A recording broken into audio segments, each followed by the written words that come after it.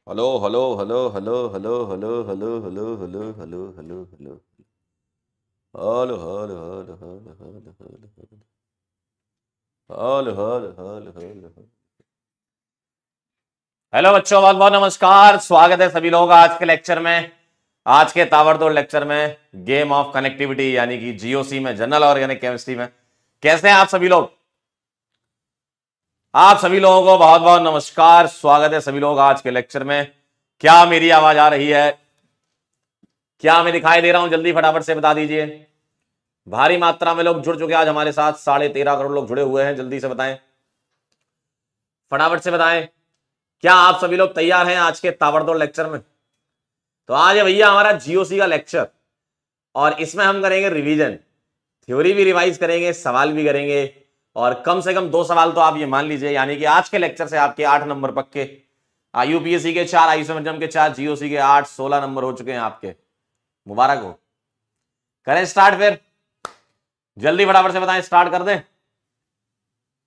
बोले भाई, आपके कमेंट मेरे को क्यों ना दिख रहे? एक मिनट रुके।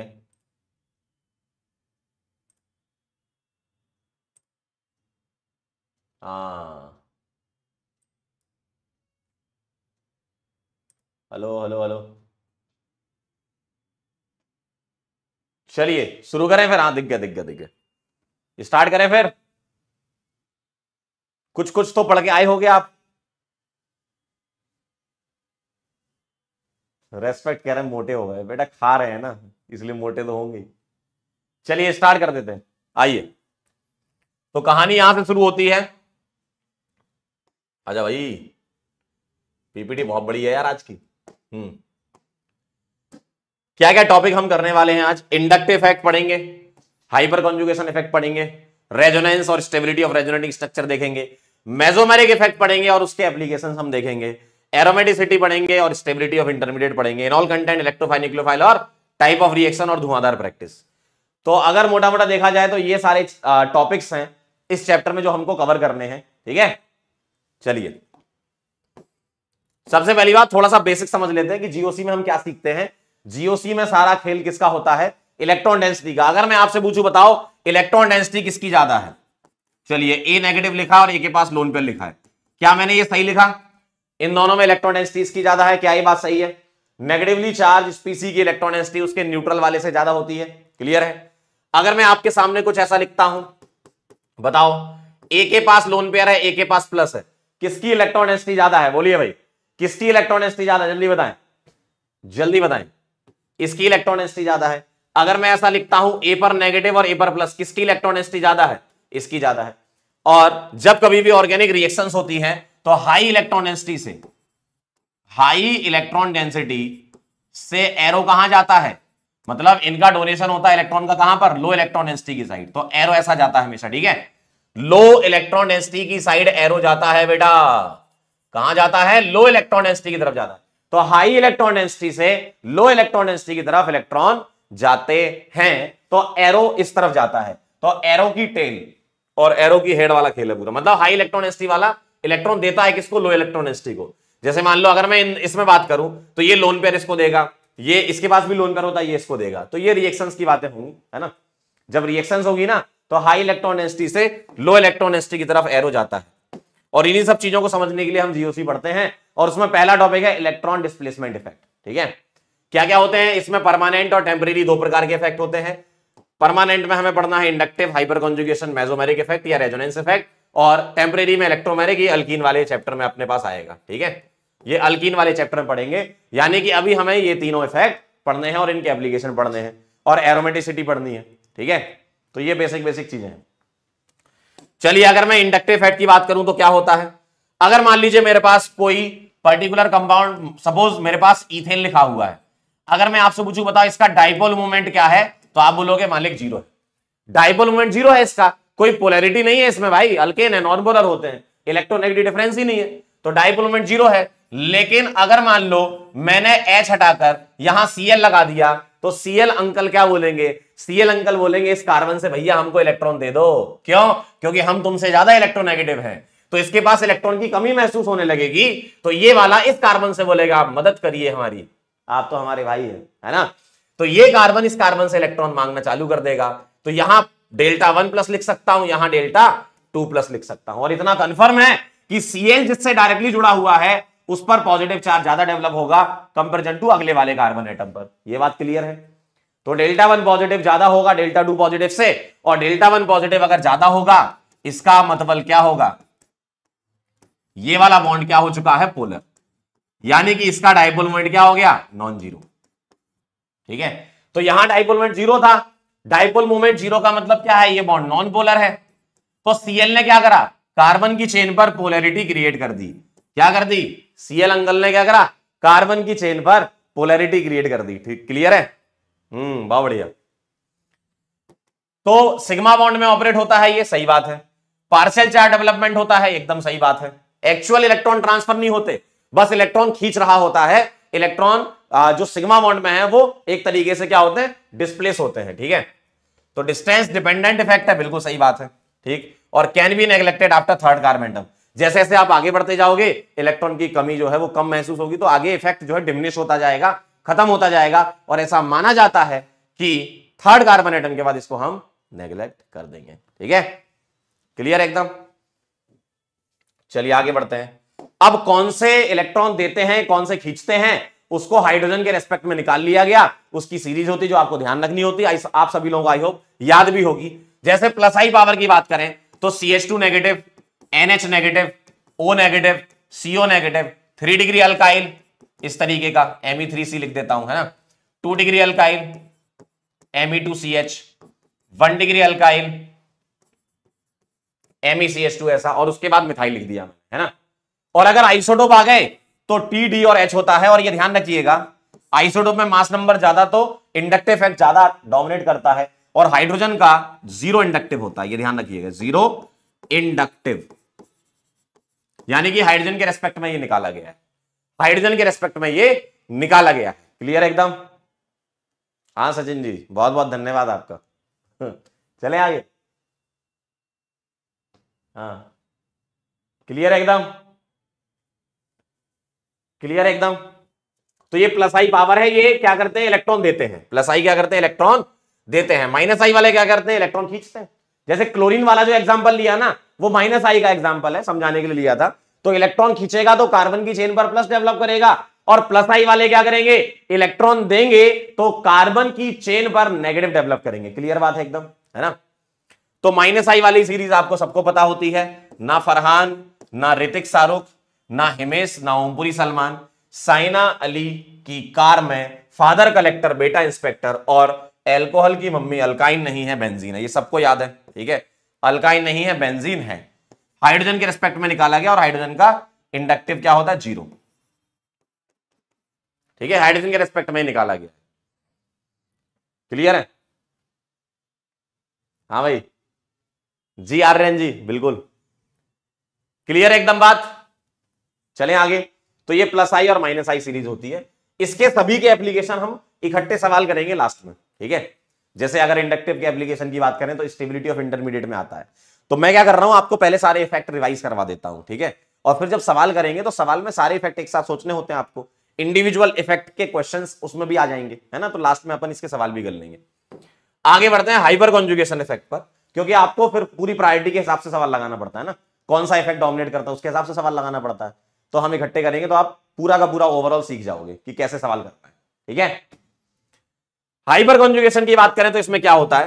हाइपर कॉन्जुगेशन में डीलोकलाइजेशन होता है किसका? सिग्मा इलेक्ट्रॉन का। ध्यान से देखना। हाइपर कॉन्जुगेशन में delocalisation of sigma electron of C H bond किसका? अल्काइल ग्रुप का, जो कि डायरेक्टली कनेक्टेड होता है किससे? अल्कीन से कार्बोकेटाइन से या फ्री रेडिकल से। यानी कि हाइपर कॉन्जुगेशन हम अल्कीन में पढ़ते हैं कार्बोकेटाइन में पढ़ते हैं फ्री रेडिकल में पढ़ते हैं। ये एक परमानेंट इफ़ेक्ट है, एकदम सही बात है। और इसको नोबॉन्ड रेजोनेंस या बेकरनाथन इफ़ेक्ट भी बोला जाता है। अब ये कहाँ कहाँ पर कैसे होता है उसको अपन समझ लेते हैं, ठीक है? इसमें समझेंगे इसमें समझेंगे और इसमें समझेंगे, ठीक है? तो एक एक करके मैं स्टार्ट कर रहा हूँ। अगर मैं आपके सामने बात करूँ सबसे पहले, ध्यान से देखिएगा। अगर मैं बात करूँ सबसे पहले केस वन, इन कार्बोकेटाइन अगर कार्बोकेटाइन की बात करूँ तो कार्बोकेटाइन में सी एच बॉन्ड कौन सा वाला लेना ध्यान से देखना। मेरे पास ये लिखा हुआ है कार्बोकेटाइन यहाँ पर ये जो सी एच है इसका किसका? मिथाइल जो लिखा है ना C S three alkyl group का, है ना?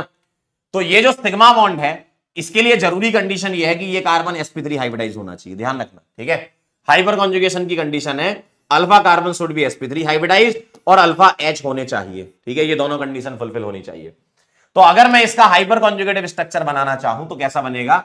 ये दोनों इलेक्ट्रॉन अगर इधर शिफ्ट हो जाएँगे तो मेरे को कुछ ऐसा दिखेगा सी एच और यहाँ H plus double bond C H two ऐसा दिखेगा? ऐसा दिखेगा? अब, अगर ये वाला सी एच पार्टिसिपेट करता है तो इसने कौन सी गलती कर दी मालिक? इसने कोई पाप थोड़ी कर दिया, ये भी करेगा, ये भी करेगा।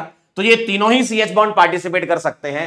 यानी कि अगर मैं टोटल हाइपर कॉन्जुगेटिव स्ट्रक्चर की बात करूँ total hyperconjugative structure involving C H bond break involving C H bond break तो मैं क्या करूँगा? मैं लिखूँगा total number of alpha H total number of alpha H यानी कि इस पर्टिकुलर सवाल में अगर हम बात करें तो बताओ कितने हाइपर कॉन्जुगेटिव स्ट्रक्चर बनेंगे? बोलो। अगर मैं इस पर्टिकुलर सवाल में बात करूँ तो मेरे को मिलेंगे एक, दो, तीन अल्फ़ा एच हैं। और कौन से वाले अल्फ़ा एच होने चाहिए? अल्फ़ा कार्बन वाले। और अल्फ़ा कार्बन क्या होना चाहिए? Sp3 हाइब्रिडाइज होना चाहिए। ठीक है? अल्फ़ा कार्बन क्या होना चाहिए बेटा? एसपी थ्री तो इसका आंसर क्या आएगा? तीन आएगा। ठीक है? क्लियर है एकदम? अब यही बात अगर मैं कर लूँ किसमें फ्री रेडिकल में। तो सेकंड केस देखें in free radical case two की बात करूँ इन कार्बन फ्री रेडिकल तो अगर फ्री रेडिकल की बात करूँगा तो कहानी बस यहाँ पर थोड़ी सी ये चेंज होगी कि यहाँ पर कार्बोकेटाइन की जगह क्या आएगा फ्री रेडिकल और बॉन्ड ब्रेकिंग अब होमोलिटिक होने लगेगी। तो ये बॉन्ड बीच से ब्रेक होगा। ठीक है? तो यहाँ क्या बनेगा? एच रेडिकल और सारी की सारी कहानी सेम है। जितने अल्फ़ा एच होंगे उतने ही हाइपर कॉन्जुगेटिव स्ट्रक्चर बनेंगे ठीक है? जितने अल्फ़ा एच होंगे उतने ही हाइपर कॉन्जुगेटिव स्ट्रक्चर बनेंगे। अच्छा एक चीज़ और लिख, लिखते जाते हैं। ऑर्बिटल ओवरलैपिंग देख लेते हैं क्या होती है यहीं पर है ना? इन सबके ऑर्बिटल ओवरलैपिंग भी देख लेते हैं। जैसे अगर इसका मैं ऑर्बिटल वाला डायग्राम बनाऊँ तो मेरे को ऐसा दिखेगा कैसा दिखेगा रे? ध्यान से देखना जरा। इसके पास वैकेंट ऑर्बिटल होता है कार्बोकेटाइन के पास ठीक है? और यहाँ पर अगर मैं बात करूँ तो ये sp3s ये क्या है? Sp3s सिग्मा बॉन्ड ये वाला। ये भी हो सकता है, बस मैं एक दिखा रहा हूँ sp3s बॉन्ड क्योंकि हाइड्रोजन का तो electronic configuration one S one होता है ना, और कार्बन sp3 हाइब्रिडाइज्ड है है ना? तो sp3s क्या करता है? ये इसके साथ इंटरेक्ट करता है। तो आपसे अगर पूछ ले कौन सी ओवरलैपिंग होती तो सिग्मा वैकेंट पी ओवरलैपिंग होती सिग्मा वैकेंट पी ओवरलैपिंग होती, और सिग्मा कौन सा वाला? अल्फ़ा कार्बन वाला। और अल्फ़ा कार्बन क्या होना चाहिए? Sp3 होना चाहिए, ठीक है? तो सिग्मा बॉन्ड कौन सा वाला होता है? अल्फ़ा कार्बन और हाइड्रोजन का बॉन्ड अल्फ़ा कार्बन और हाइड्रोजन का बॉन्ड और अल्फ़ा कार्बन क्या होना चाहिए? Sp3 क्लियर एकदम? क्लियर एकदम? तो ये कहानी है। अब ऐसा ही काम हम देख लेते हैं किसमें? फ्री रेडिकल में। ऐसा ही काम देख लेते हैं फ्री रेडिकल में। फ्री रेडिकल में भी ऐसा ही कुछ खेल होता है। बस वहाँ क्या हो जाएगा? वहाँ जो ओवरलैपिंग होगी, वो होगी हाफ़ फ़ील्ड के साथ। सही बात है ना? तो ये जो था ये आपका sp3s है। ठीक? तो यहाँ ओवरलैपिंग होगी ये वाली। तो क्या होगा? सिग्मा हाफ़ फ़ील्ड पी पीछे वाले में वैकेंट थी मालिक। मालिक? इधर देखो। पीछे वाले में वैकेंट पी था। यहाँ क्या है? हाफ़ फ़ील्ड है। तो सिग्मा और हाफ़ फ़ील्ड पी सिग्मा और हाफ़ फ़ील्ड और सिग्मा कौन सा वाला? Sp3 कार्बन का हाइड्रोजन जो है। ठीक है? वो वाला लेना है आपको। क्लियर है एकदम? ये कहानी है। अगर मैं आपसे बात करूँ, तीसरा वाला पोर्शन केस थ्री अल्कीन में अगर मैं बात करूँ, इन अल्कीन। अगर बेटा अल्कीन में आपसे बात की जाएगी तो दो प्रकार के इफ़ेक्ट यहाँ आते हैं। एक प्लस एच मिलेगा और एक माइनस एच मिलेगा। ठीक है? ध्यान से देखिएगा। कुछ इस तरीके से दिख रहा होगा।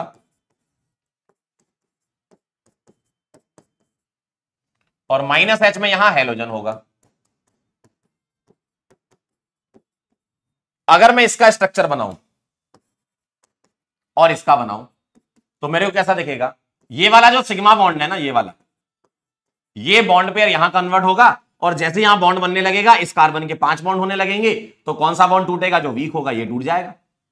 तो मेरे को ऐसा नज़र आने वाला है, देखो जरा। Double bond C H single bond C H two negative तो आप जरा ध्यान से देखें, इसने क्या करा?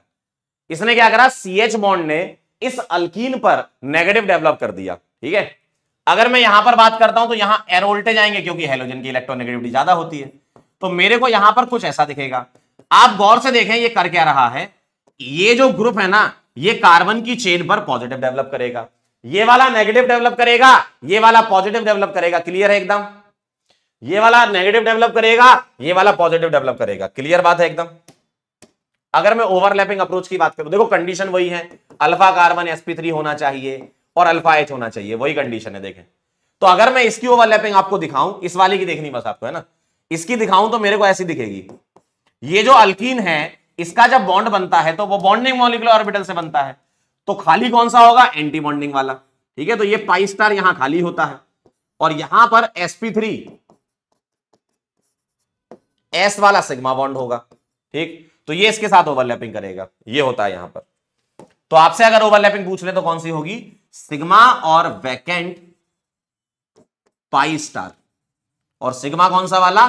अल्फ़ा कार्बन का जो sp3 है, उसका एच ठीक है? sp3 अल्फ़ा कार्बन वाला एच क्लियर एकदम?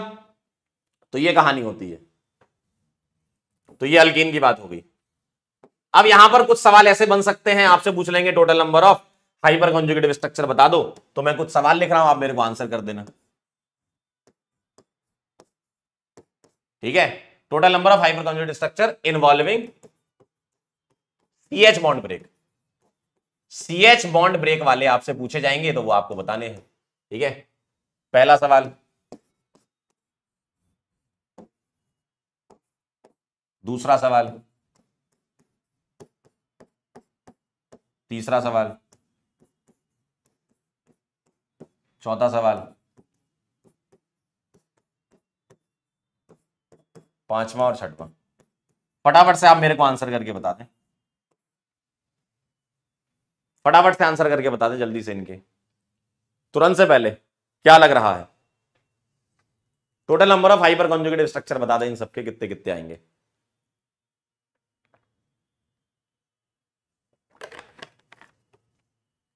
बोलो भाई।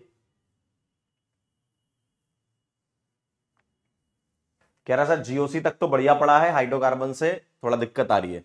तो बेटा, अगले लेक्चर पर बिल्कुल फोकस करना। नेक्स्ट लेक्चर हमारे होने वाले रिएक्शंस के, ठीक है? चले आगे। चलिए बताएँ अगर ये कार्बोकेटाइन है तो इसका ये अल्फ़ा कार्बन ये अल्फ़ा कार्बन ये तीनों sp3 है। यहाँ तीन, दो पाँच और एक छह। छह आंसर आएगा चेक कर लो। यहाँ एक मिलेगा, यहाँ दो मिलेंगे तो टोटल तीन और sp3 है ये। इस अल्कीन को पकड़ोगे तो उसके अल्फ़ा ये हो गए तीन तीन छह, दो आठ और दो दस। इसके देखोगे तो दो दो चार। इसके देखोगे तीन तीन छह और एक, सात। इसके देखोगे तो ये वाला तो sp2 है बेटा डबल बॉन्ड है ना। ये वाला sp3 है। तो आपको sp3 वाले लेने होते तो यहाँ दो मिलेंगे। ठीक है? क्लियर है? क्लियर है? बोलो भाई। छ आठ सात तीन, चार तीन। छ आठ नहीं आएँगे यार इसके। रेडिकल यहाँ बनाए तो दो और एक तीन आएँगे। छह तीन दस चार सात तीन। छ तीन दस चार सात दो। तीन नहीं दो। चेक करें जरा। क्लियर एकदम? डन है? ठीक तो ये कहानी है। अब हम आगे बढ़ेंगे और बात करेंगे रेजोनेंस की, ठीक है? अगर मैं रेजोनेंस की बात करूँ तो रेजोनेंस में क्या होता है भैया? डीलोकलाइजेशन ऑफ़ किसका होता है? पाई इलेक्ट्रॉन का होता है कॉन्जुगेटेड सिस्टम में। पाई इलेक्ट्रॉन का डीलोकलाइजेशन कॉन्जुगेटेड सिस्टम में होता है, ठीक है?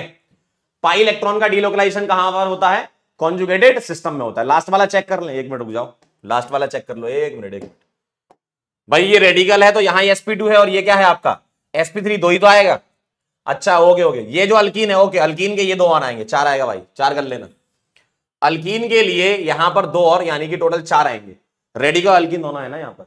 चार कर लेना चार। अगर मैं आपसे बोलूँ रेजोनेंस के बारे में तो डीलोकलाइजेशन ऑफ़ पाई इलेक्ट्रॉन होता है किसमें? कॉन्जुगेटेड सिस्टम में ठीक है? कॉन्जुगेटेड सिस्टम कहाँ पर जनरेट होता है उसके लिए हमें बात करनी होगी है ना?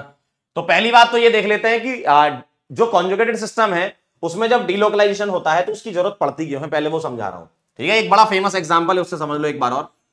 ओजोन मॉलिक्यूल है। अगर मैं आपसे पूछूँ, ये एक्स और ये वाई बॉन्ड लेंथ है, ठीक है? बॉन्ड लेंथ एक्स और वाई है तो आप बोलोगे, सर वाई बड़ी है एक्स छोटी है, क्योंकि ये सिंगल बॉन्ड है, वो डबल बॉन्ड है। सही बात है? क्लियर है? ये सिंगल बॉन्ड है, ये डबल बॉन्ड ऐसा आना चाहिए, लेकिन ऐसा नहीं होता है। एक्सपेरिमेंटली पता चला कि एक्स और वाई क्या होते हैं? बराबर होते हैं। उसी को समझाने के लिए रेजोनेंस का जन्म हुआ। रेजोनेंस से हमें क्या पता चलता है? कुछ ऐसी प्रॉपर्टी जो आप एक सिंगल लुइस स्ट्रक्चर से नहीं बता सकते, वो रेजोनेटिंग स्ट्रक्चर से बता सकते हो। तो इसका एक रेजोनेटिंग स्ट्रक्चर पता किया गया और वो रेजोनेटिंग स्ट्रक्चर ऐसा बनाया जाता है कि इस पाई बॉन्ड को यहाँ पर शिफ्ट कर दूँ और रेजोनेंस को हम डबल हेडेड एरो से बताते हैं। तो मैं ऐसे लिख सकता हूँ, क्या ये बात क्लियर है? क्या ये बात क्लियर है? ऐसे लिख सकता हूँ। और अगर मैं इन दोनों का हाइब्रिड बनाऊ, देखो वन और टू क्या है? वन और टू है भैया रेजोनेटिंग स्ट्रक्चर क्या है ये? रेजोनेटिंग स्ट्रक्चर है। या फिर इसको क्या बोलते हैं? कैनोनिकल फॉर्म कैनोनिकल फॉर्म बोला जाता है इनको। और इनको मिलाकर अगर मैं हाइब्रिड बनाऊँगा तो मुझे बताओ, इसमें प्लस चार्ज है, इसमें प्लस चार्ज है तो यहाँ भी प्लस होगा। नेगेटिव चार्ज को देखो, यहाँ इस ऑक्सीजन पर है, यहाँ इस ऑक्सीजन पर है। तो पर oxygen minus one by two आएगा भाई। पर oxygen minus one by two आएगा। और पाई बॉन्ड एक इधर है, एक इधर है, यानी कि पार्शियल डबल बॉन्ड है। और अगर पार्शियल डबल बॉन्ड है तो मुझे एक बात आप बता सकते हो कि अगर मैं इसकी बॉन्ड लेंथ, अब एक्स और इसको वाई बोलूँ तो यहाँ से तुम बोल सकते हो, सर एक्स और वाई बराबर है बॉन्ड लेंथ। क्या ये बात क्लियर है? तो इसलिए रेजोनेंस का जन्म हुआ है, ठीक है? इसलिए रेजोनेंस का जन्म हुआ है कि पार्शियल डबल बॉन्ड कैरेक्टर आ जाने से इनकी बॉन्ड लेंथ बराबर हो जाएँगी, वो तुम एक्सप्लेन कर पाओगे। और इसको बोलते हैं रेजोनेंस हाइब्रिड क्या बोलते हैं? रेजोनेंस हाइब्रिड क्या नाम है इसका? रेजोनेंस हाइब्रिड कहा जाता है इसको। ठीक है? तो रेजोनेंस हाइब्रिड क्या होता है? जो भी रेजोनेटिंग स्ट्रक्चर या कैनोनिकल फॉर्म होते हैं, उनसे मिलकर के एक एक्चुअल स्ट्रक्चर बनाते हो। ये स्ट्रक्चर आपके हाइपोथेटिकल होते हैं। और ये स्ट्रक्चर रियल स्ट्रक्चर होता है, जिसको हम क्या बोलते हैं? रेजोनेंस हाइब्रिड बोलते हैं। क्लियर है एकदम? क्लियर है एकदम? क्लियर है? ये रेजोनेंस हाइब्रिड एक्चुअल स्ट्रक्चर होता है ना? हम्म। अब ये टाइप ऑफ़ कॉन्जुगेशन क्या क्या दिख सकते हैं? आपको वो देखें जरा। मेरे पास अगर यहाँ पर डबल बॉन्ड है या बेंजीन रिंग है, इसके पास में, ध्यान सुनना, इससे डायरेक्टली कनेक्टेड ऐसा कुछ हो, इससे डायरेक्टली कनेक्टेड ऐसा कुछ हो, मान लीजिए मेरे पास ए है एक एटम तो यहाँ पर प्लस चार्ज हो, यानी कि वैकेंट ऑर्बिटल के साथ प्लस चार्ज भाई प्लस चार्ज होना मतलब वैकेंट ऑर्बिटल होना चाहिए, ठीक है? इसके पास नेगेटिव चार्ज हो मतलब लोन पेयर हो, या सिंपल लोन पेयर भी हो सकता है, या सिंपल वैकेंट भी हो सकता है इसके पास, या डबल बॉन्ड हो सकता है, या ट्रिपल बॉन्ड हो सकता है, या रेडिकल हो सकता है, जो काम के हैं वो लिख रहा हूँ। कौन कौन से आपको ध्यान रखने हैं? पॉजिटिव चार्ज वाला लोन पेयर वाला negative charge simple lone pair simple vacant orbital alternate double bond आ जाए या रेडिकल आ जाए, ठीक है? इन सभी के एक एग्ज़ाम्पल में दिखा देता हूँ, जैसे, यहाँ पर कार्बोकेटाइन हो तो आप बोलोगे, पढ़ते इसको ऐसे प्लस सिंगल डबल ऐसे पढ़ते हैं ना? ऐसे पढ़ा जाता है, इसको बोला ऐसे जाता है। अगर ऐसा आ गया तो क्या बोलूँगा? लोन पेयर सिंगल डबल या नेगेटिव सिंगल डबल बोल दो, ठीक? अगर ऐसा आ गया, ठीक है? तीसरा वाला देखो। लोन पे सिंगल डबल यहाँ बेंजीन भी हो सकती है, ठीक है? वैकेंट ऑर्बिटल वाला एग्जांपल देखो। वैकेंट ऑर्बिटल वाला। अल्कीन के पास में बोरोन लगा दिया मैंने तो ये वैकेंट ऑर्बिटल अल्टरनेट डबल वाला देखो, ऐसा लगा दिया मैंने। ऐसा लगा दूँ या यहाँ पर ऐसा लगा दूँ, ठीक है? तो ये अल्टरनेट डबल बॉन्ड में आता है। रेडिकल की बात करूँ तो ऐसा हो जाए। तो ये सब क्या होता है? कॉन्जुगेशन की कैटेगरी में आते हैं। तो यहीं पर एक सवाल बन सकता है आपके लिए जो बहुत इंपॉर्टेंट होता है, जिसमें पूछा जाएगा, बताओ किसमें रेजोनेंस है किसमें नहीं है? तो कॉन्जुगेशन पहचानना अगर आता है तो आपको पता चल जाएगा रेजोनेंस हो रहा है या नहीं हो रहा है। तो ये कॉन्जुगेशन के, इन सब के एक एक एग्ज़ाम्पल मैंने लिख दिए हैं, ठीक है?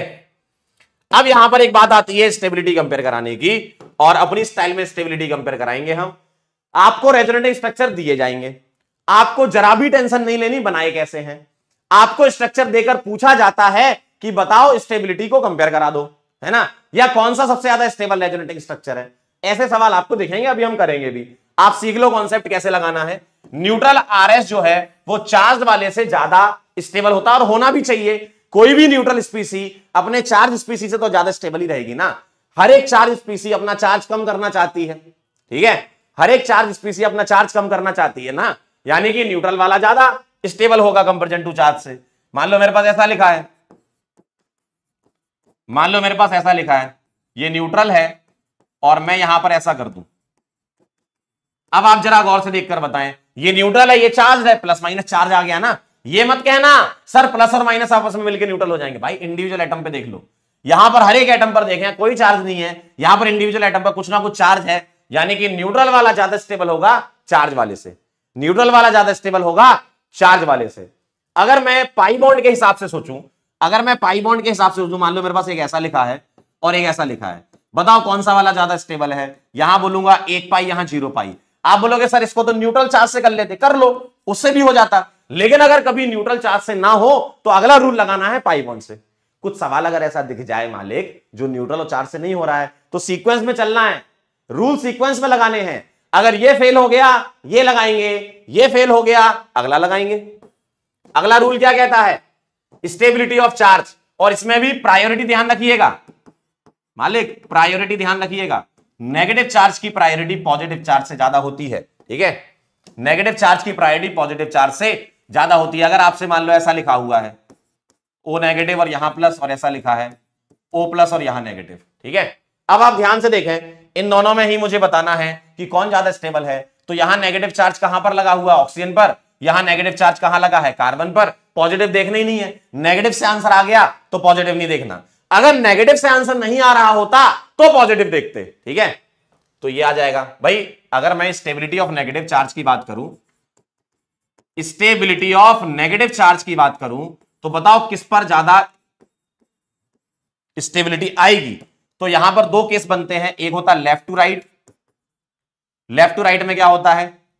सी नेगेटिव मान लिया मैंने एन नेगेटिव मान लिया ओ नेगेटिव और F negative left to right criteria होता है बेटा इलेक्ट्रोनेगेटिविटी क्या होता है? क्या होता है? क्या होता है? इलेक्ट्रोनेगेटिविटी क्राइटेरिया होता है। और टॉप टू बॉटम अगर मैं पूछूँ आपसे तो क्राइटेरिया होता है साइज़ जैसे F minus C L minus B R minus I minus ऐसे आप ऑक्सीजन फैमिली और नाइट्रोजन फैमिली में भी कर सकते हो, ठीक है? यहाँ क्राइटेरिया क्या होता है? साइज़। बड़े साइज़ पर नेगेटिव चार्ज स्टेबल होता है। तो left to right electronegativity criteria होता है। Top to bottom size criteria होता है। और इसका उल्टा कर दो तो पॉजिटिव चार्ज की स्टेबिलिटी हो जाएगी, है ना? तो नेगेटिव चार्ज की स्टेबिलिटी लेफ़्ट टू राइट बढ़ती है और टॉप टू बॉटम भी बढ़ती है। दोनों होता है। ध्यान रखना। लेफ़्ट टू राइट भी बढ़ती है टॉप टू बॉटम भी बढ़ती है। यह आपको ध्यान रखना है। ठीक? और अगर नेगेटिव चार्ज से आंसर आ रहा है तो बहुत अच्छी बात है। लेकिन अगर नहीं आ रहा तो पॉजिटिव पे चलेंगे। नेगेटिव से आंसर नहीं आ रहा तो पॉजिटिव पे जाना है। डायरेक्ट पॉजिटिव नहीं लगाना है, ध्यान रखिएगा। पहले नेगेटिव सोचना है। क्या सोचना है? नेगेटिव सोचना है। ठीक है? चलिए आगे बढ़ते हैं। अगला रूल क्या कहता है? Charge separating resonating structure less stable होते हैं। यानी कि प्लस एंड माइनस दूर दूर तो कम स्टेबल प्लस माइनस दूर दूर कम स्टेबल होते हैं। कम स्टेबल होते हैं। प्लस माइनस दूर दूर तो कम स्टेबल होते हैं। मान लीजिए, मेरे पास कुछ ऐसा लिखा है। ठीक? मेरे पास कुछ ऐसा लिखा है। चलिए, बताइए कौन ज़्यादा स्टेबल है? अगर मैं पहले रूल से चलूँ, न्यूट्रल और चार्ज वाले से तो दोनों ही चार्ज पीसी हैं, ठीक है सर। मैं पाई बॉन्ड से चलूँ तो यहाँ भी एक पाई, यहाँ भी एक पाई, ठीक है सर, इससे भी नहीं आ रहा आंसर। अगर मैं नेगेटिव चार्ज से चलूँ तो यहाँ भी ओपर नेगेटिव, यहाँ भी ओपर नेगेटिव, इससे भी नहीं आ रहा आंसर सर। सर, अगर पॉजिटिव से चलूँ तो भी आंसर नहीं आ रहा। तो आप देखेंगे, आप पास पास दूर दूर पास पास वाला ज़्यादा स्टेबल प्लस माइनस पास पास तो ज़्यादा स्टेबल प्लस माइनस दूर दूर तो कम स्टेबल ठीक है? क्लियर एकदम? ठीक है एकदम? चलिए, बहुत बढ़िया, आइए जरा अगला, देखते हैं। Like charges on adjacent position are less stable यानी कि plus plus lone pair lone pair minus minus या लोन पेयर माइनस ठीक है? अगर ये पास पास पास पास तो कम सटेबल। कम सटेबल। ठीक अच्छे? ठीक है? जैसे कभी ऐसा हो जाए कि मान लो कार्बन की कोई चेन चली आ रही है, यहाँ NH2 लगा है और यहाँ नेगेटिव चार्ज आ गया है, ठीक है? और अगर ऐसा लिखा है, और आपसे पूछा, बताओ कौन सा ज़्यादा स्टेबल कौन सा कम स्टेबल अगर मैं इसको वन इसको टू दे दूँ तो देखो ये लोन पेयर है यहाँ पर, ये नेगेटिव चार्ज है टू ज़्यादा स्टेबल होगा किससे? वन वाले से। ठीक है? क्लियर है? क्लियर है? डन एकदम? तो ये कहानी है। डन डन डन डन तो जो मैंने सिखाया आइए उसको अप्लाई कर लेते हैं दो तीन सवाल कर लेते हैं ठीक है? जो मैंने सिखाया उसको अप्लाई कर लेते हैं दो तीन क्वेश्चन आपके सामने हैं। बताएँ जरा पहले वाले का आंसर वा क्या है? जल्दी से करें। पहले वाले सवाल का आंसर क्या है? Which of the following is least stable resonating structure जल्दी से बताओ, कूद कूद के बताओ क्या आंसर है। बोलो जल्दी से। कूद कूद के बताएँगे क्या आंसर है। ए बी सी डी में, से क्या आंसर है। बोलो। लीस्ट स्टेबल बताना है। आइए शुरू करते हैं। ये न्यूट्रल वाला है। आइए जरा शुरू करते हैं। ये क्या है? न्यूट्रल वाला, पहला वाला तो सबसे ज़्यादा स्टेबल हो गया, ठीक? तो मैं सारी स्टेबिलिटी बताता हूँ आपको। ए सबसे ज़्यादा हो गया, न्यूट्रल है। अब चार्ज वाला देख लो, ये चार्ज हो गया पाई बोन चेक कर लो। यहाँ ज़ीरो पाई यहाँ एक पाई यहाँ एक पाई तो तीन वाला सबसे पीछे आंसर तो तुम्हारा सी आ चुका है, ठीक? अब बीओडी में देखो ओपर नेगेटिव यहाँ भी ओपर नेगेटिव बहुत अच्छी बात है ओपर नेगेटिव से आंसर नहीं आ रहा। अब पॉजिटिव देखेंगे, यहाँ एन पर और यहाँ ओपर मुझे बताओ नेगेटिव चार्ज ओपर स्टेबल होता है तो पॉजिटिव एन पर स्टेबल होगा अपोजिट हो जाएगा ऑर्डर है ना? यानी कि ए बी डी सी सही है? तो सी वाला आ जाएगा आपका आंसर क्लियर है एकदम? ध्रुव बेटा, बहुत बढ़िया। क्या बात है, क्या बात है, क्या बात है। चलिए, अगला सवाल आपके सामने आपकी स्क्रीन पर। बोले भाई, क्या लग रहा है आंसर क्या लग रहा है आंसर बोले भाई। हम्म। हम्म। बोलो। सबसे ज़्यादा कौन सा हो जाएगा? न्यूट्रल वाला। फ़र्स्ट वाला सबसे ज़्यादा स्टेबल हो जाएगा। न्यूट्रल।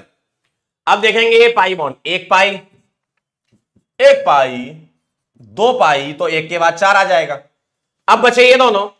सी पर नेगेटिव ओ पर नेगेटिव बस, आगे आंसर तीन फिर दो। इससे आसान क्या होगा जीवन में? एक, चार, तीन, दो। एक, चार, तीन, दो। ढोलकपुर आंसर आ गया। क्या बात है। बहुत बढ़िया। अगला सवाल क्या कह रहा है आपसे? Which of the following order is correct for stability of four contributing structures formic acid दे रखा है बेटा आपको, ठीक है? बोलो। सबसे ज़्यादा कौन सा स्टेबल होगा? न्यूट्रल वाला। देखो, ये न्यूट्रल वाला है, वन आ जाएगा। इसके बाद देखेंगे अपन पाई बॉन्ड। पाई बॉन्ड, यहाँ एक पाई, यहाँ ज़ीरो पाई, यहाँ ज़ीरो पाई। आंसर आएगा एक के बाद क्या? दो। चलिए, अब ज़ीरो पाई में देखेंगे। नेगेटिव चार्ज कहाँ लगा हुआ है? नेगेटिव चार्ज ऊपर लगा है। नेगेटिव चार्ज सी पर लगा है तो क्या मैं इसका आंसर तीन कर दूँ और उसके बाद चार कर दूँ? यानी कि एक, दो, तीन, चार आंसर आगरा यार। सही है? क्या ये बात सही है? आगरा आंसर आ गया। बहुत बढ़िया। काफ़ी बच्चों का आंसर आ चुका है। कुछ बच्चों ने बदलापुर कर दिया। ऐसा क्यों किया रे? चार को तुमने ज़्यादा कर दिया तीन से। चार ज़्यादा कैसे आ जाएगा? यहाँ ओपर नेगेटिव यहाँ सी पर नेगेटिव ओपर नेगेटिव ज़्यादा स्टेबल होगा सी पर नेगेटिव से। यार, कैसी बातें करते हो, अंकिल? हम्म क्लियर है एकदम? क्या बात है, बहुत बढ़िया। आगे बढ़ते हैं ब्रेड रूल पर चलते हैं। ब्रेड रूल क्या कहता है? इसका कहना है कि ब्रिज बाईसाइक्लो पर ब्रिज बाईसाइक्लो कंपाउंड पर प्लेनैरिटी पॉसिबल नहीं है। प्लेनैरिटी पॉसिबल नहीं है। इंग्लिश वाली हिंदी पढ़ लेते हैं ना। ब्रिज बाईसाइक्लो प्लेनरिटी पॉसिबल नहीं है। प्लेनरिटी कैसे आ सकती है? मतलब ज़बरदस्ती नहीं लानी, है ना? जैसे मान लीजिए, मैं इसकी बात करूँ तो ये स्ट्रक्चर एक्चुअल में होता है ऐसा कि ये वाले जो बॉन्ड है, ये तो प्लेन में दिखेंगे, लेकिन ये अपोजिट आएगा। मतलब इसके अब द प्लेन से आप मान लो तो ये इसके ऊपर से निकलेगा। मतलब इसका मैं इक्वलेंट स्ट्रक्चर ऐसा बना सकता हूँ, ऐसा देखो। यहाँ से बॉन्ड ऊपर जाएगा और ये इससे जुड़ेगा। मतलब ये अब द प्लेन आएगा, ठीक है?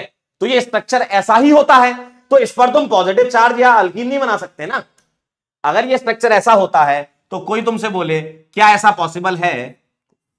क्या ऐसा पॉसिबल है? इस पर प्लस इस पर प्लस तो आप बोलोगे नॉट पॉसिबल एक्चुअल में यहाँ हो सकता है, लेकिन रिंग का साइज़ उसमें फिर आठ मेंबर या उससे ज़्यादा होना चाहिए। अगर रिंग का साइज़ आठ मेंबर या उससे ज़्यादा है तो एडजस्ट हो जाता है, क्योंकि रिंग का साइज़ बढ़ गया ना तो प्लेनिटी लूज हो सकती है। लेकिन आपके सिलेबस में अगर हम बात करें तो ये वाली रिंग के बारे में ही यूजुअली बात करेंगे। तो छह की रिंग है, यहाँ पर प्लस चार्ज आ गया। यानी कि, ना ना ना ना पॉसिबल नहीं है। क्योंकि sp2 हो जाएगा और होना नहीं चाहिए। भाई sp2 का मतलब तो ट्राइगोनल प्लेनर होता है ना। अगर ट्राइगोनल प्लेनर होता है स्ट्रक्चर तो नॉन प्लेनर है। कैसे पॉसिबल है है ना? ये वाला या फिर आपको ऐसा मिल जाए। अगर कोई यहाँ ऐसा पूछे आपसे कि क्या मैं यहाँ डबल बॉन्ड बना सकता हूँ? नहीं। क्योंकि डबल बॉन्ड में भी तो इसका हाइब्रिडाइजेशन sp2 हो जाएगा ट्राइगोनल प्लेनर हो जाएगा, जो कि पॉसिबल नहीं है, ठीक है? नॉट पॉसिबल इसको बोलते हैं अपन ब्रेड रूल क्योंकि स्ट्रक्चर नॉन प्लेनर है, उस पर तुम पॉजिटिव या डबल कैसे लगा सकते हो? ठीक है? तो इसको कहते हैं ब्रेड रूल आगे काम आएगा, है ना? एक्सटेंडेड और क्रॉस कॉन्जुगेशन क्या होता है? एक्सटेंडेड का मतलब होता है एक सांस में. मतलब लगातार चलने वाला कॉन्जुगेशन क्रॉस क्या होता है? दो अलग अलग सांसों में। दो अलग अलग सांसों में। ठीक है, जैसे अगर मैं आपसे बात करूँ ऐसा लिखा है।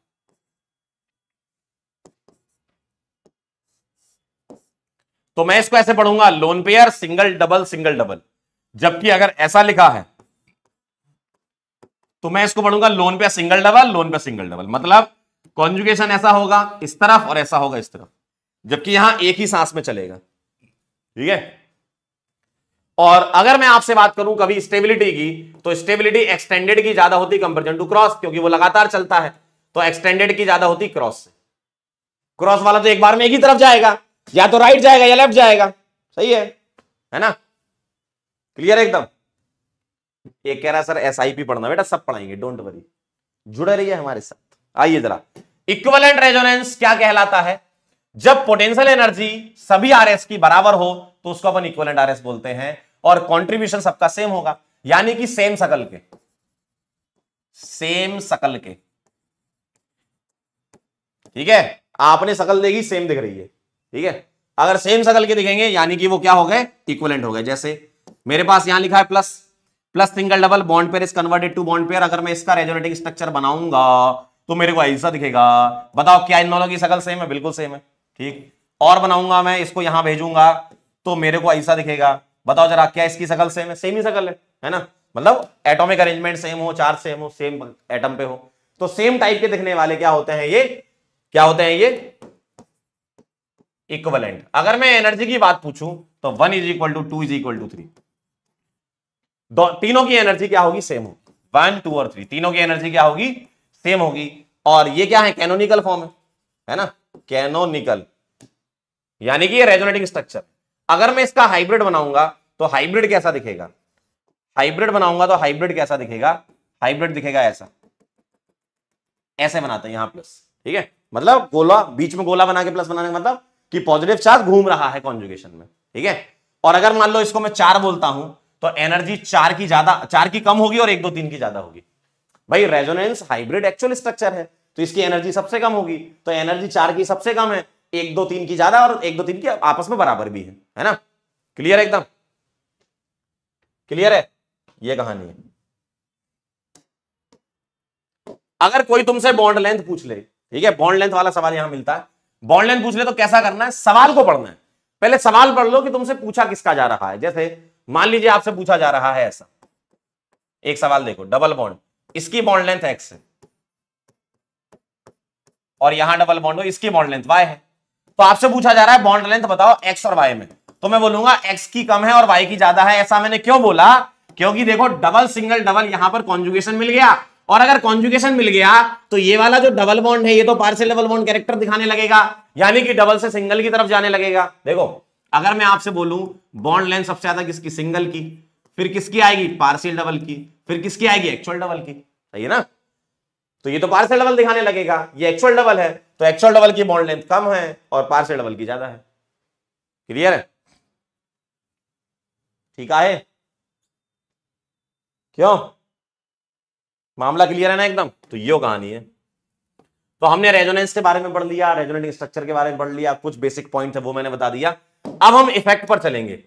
रेजोनेंस इफ़ेक्ट या मेजोमेरिक इफ़ेक्ट ये इंपॉर्टेंट है और इसके एप्लीकेशन भी इंपॉर्टेंट होते हैं, ठीक है? अगर मैं आपसे बात करूँ रेजोनेंस इफ़ेक्ट क्या होता है? परमानेंट होता है पाई बॉन्ड में ऑपरेट होता है डिस्टेंस इंडिपेंडेंट होता है और एक्चुअल चार्ज डेवलपमेंट होता है है ना? पाई बॉन्ड का अगर डिलोकलाइजेशन हो रहा है तो हम उसको बोलते हैं मेजोमेरिक या रेजोनेंस इफ़ेक्ट ठीक है? क्या कहानी है? दो टाइप के इफ़ेक्ट है, एक प्लस एम है और एक माइनस एम है। अगर कोई एटम या ग्रुप पी ऑर्बिटल के इलेक्ट्रॉन डोनेट करेगा है ना? यानी कि लोन पेयर वगैरह डोनेट करेगा किसको? डबल बॉन्ड को या बेंजीन को? जैसे मान लीजिए एक एग्जांपल से समझाता हूँ मैं आपको। मेरे पास ऐसा लिखा हुआ है।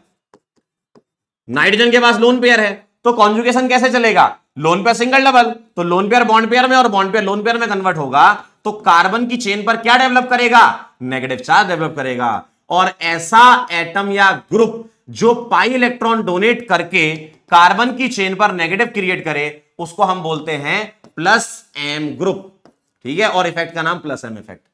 जो अपना लोन पेयर डोनेट कर दे, किसको? अल्कीन को या बेंजीन को? डोनेट कर रहा है भाई, डोनेट कर रहा है। डोनेट कर रहा है यानी कि ये क्या हो जाएगा? प्लस एम ग्रुप हो जाएगा, ठीक है? अगर मैं माइनस एम ग्रुप की बात करूँगा तो क्या होगा? कोई एटम या ग्रुप पी पी ऑर्बिटल के इलेक्ट्रॉन विड्रॉ कर ले। पी ऑर्बिटल के इलेक्ट्रॉन मतलब अल्कीन या बेंजीन वाले जो पाई इलेक्ट्रॉन है ना, वो विड्रॉ कर ले। जैसे, मान लीजिए मेरे पास ये अल्कीन लिखी हुई है।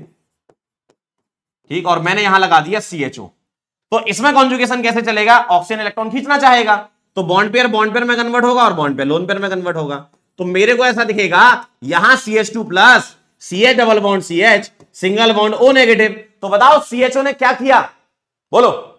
सीएचओ ने मालिक क्या किया? सीएचओ ने इस अल्कीन के इलेक्ट्रॉन खींच लिए।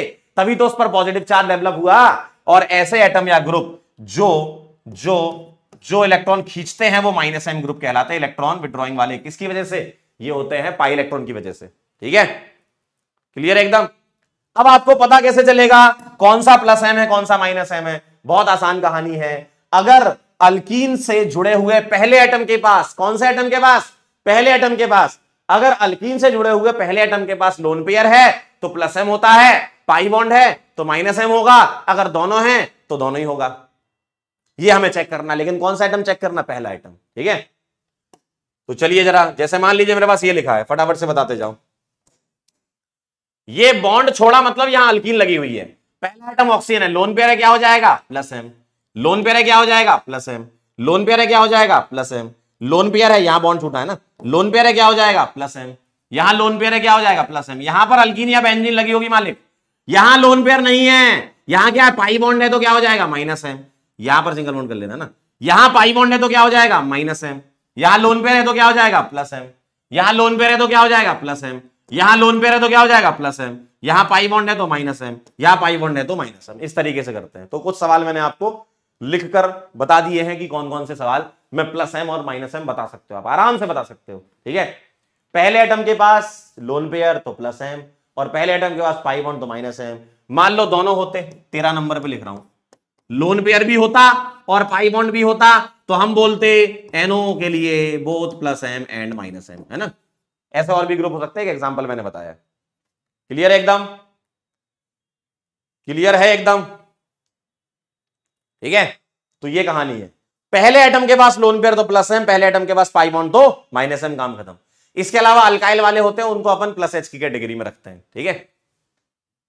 चलें आगे। तो यो कहानी है। अब कुछ ओपी पॉइंट देख लेते हैं, जिससे अपन जब सवाल करेंगे तो उसमें आप सोच सकते हो आसानी से। सवाल आपसे जल्दी बन जाएगा, ठीक है? जैसे, अगर मैं बात करूँ M effect does not operate on meta position तो ये कौन सा एम इफ़ेक्ट की बात कर रहे हैं, बताओ? बताओ, कौन सा एम इफ़ेक्ट की बात कर रहे हैं? एम इफ़ेक्ट मेटा पे नहीं लगता। बोलो, कौन सा एम इफ़ेक्ट नहीं लगता? दोनों ही। चाहे प्लस एम हो, चाहे माइनस एम हो। आइए जरा, मैं आपको थोड़ा सा बड़ा स्ट्रक्चर बना के बताता हूँ। ध्यान से देखना जरा। ध्यान से देखना जरा। मान लीजिए मैंने यहाँ पर ओएच लगा दिया। ठीक है? थोड़ी बात समझने की है यहाँ पर, है ना? मेरे पास यहाँ पर लोन पेयर है। मैं कैसे पढ़ूँगा इसको? लोन पेयर सिंगल डबल तो जब ये रेजोनेंस करेगा तो लोन पेयर बॉन्ड पेयर में और बॉन्ड पेयर लोन पेयर में कन्वर्ट होगा। यहाँ माइनस बना दू? सही है? अब ये माइनस आगे चलेगा। Negative single double lone pair bond pair में बॉन्ड पेयर लोन पेयर में माइनस बना दू? अब ये आगे चलेगा। लोन पेयर बॉन्ड पेयर में बॉन्ड पेयर लोन पेयर में माइनस बना दू? तो जरा गौर से देखो, इस OH ने इस बेंजीन रिंग पर कहाँ कहाँ नेगेटिव डेवलप करा है कहाँ कहाँ नेगेटिव डेवलप करा है, गौर से देखें जरा, इन पोजीशन को बोलते हैं हम ऑर्थो पैरा ऑर्थो और ये वाली पोजीशन मेटा थी, और मेटा पोजीशन बाईपास हो गई मेटा पर चार्ज डेवलप नहीं हुआ। तो प्लस एम वाला एग्जांपल है, जिसमें मेटा पर चार्ज डेवलप नहीं हुआ। एक एग्जांपल और लेता हूँ, जिसमें मैं आपको माइनस एम वाला ग्रुप लगा के बताता हूँ। ताकि आपको क्लियर समझ में आ जाए। जैसे सीएचओ है। कार्बन के पास पाई बॉन्ड है, पहले एटम के पास। यानी कि ये माइनस है तो ध्यान से देखना जरा। बॉन्ड पेयर बॉन्ड पेयर में बॉन्ड पे लोन पेयर में। प्लस चार्ज यहाँ आएगा। Plus single double bond pair is converted to bond pair plus charge यहाँ आएगा। Plus single double bond pair is converted to bond pair plus यहाँ आएगा। तो आप गौर से देखें जरा। प्लस चार्ज डेवलप हो रहा है। ध्यान से देखना। प्लस चार्ज डेवलप हो रहा है। कहाँ पर? ऑर्थो पैरा और ऑर्थो इन पोजीशन पर नहीं हो रहा। यानी कि मेटा पोजीशन बाईपास हो गई। मेटा पोजीशन बाईपास हो गई, यानी कि यानी कि ना तो प्लस एम, ना ही माइनस एम। दोनों ही इफ़ेक्ट में अगर हम बात करें तो मेटा पर काम नहीं कर रहे। क्लियर है? एकदम बताओ। बोलो भाई। क्लियर है? एकदम बताओ।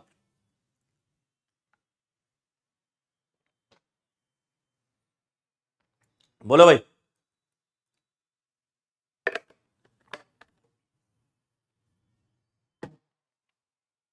ठीक है?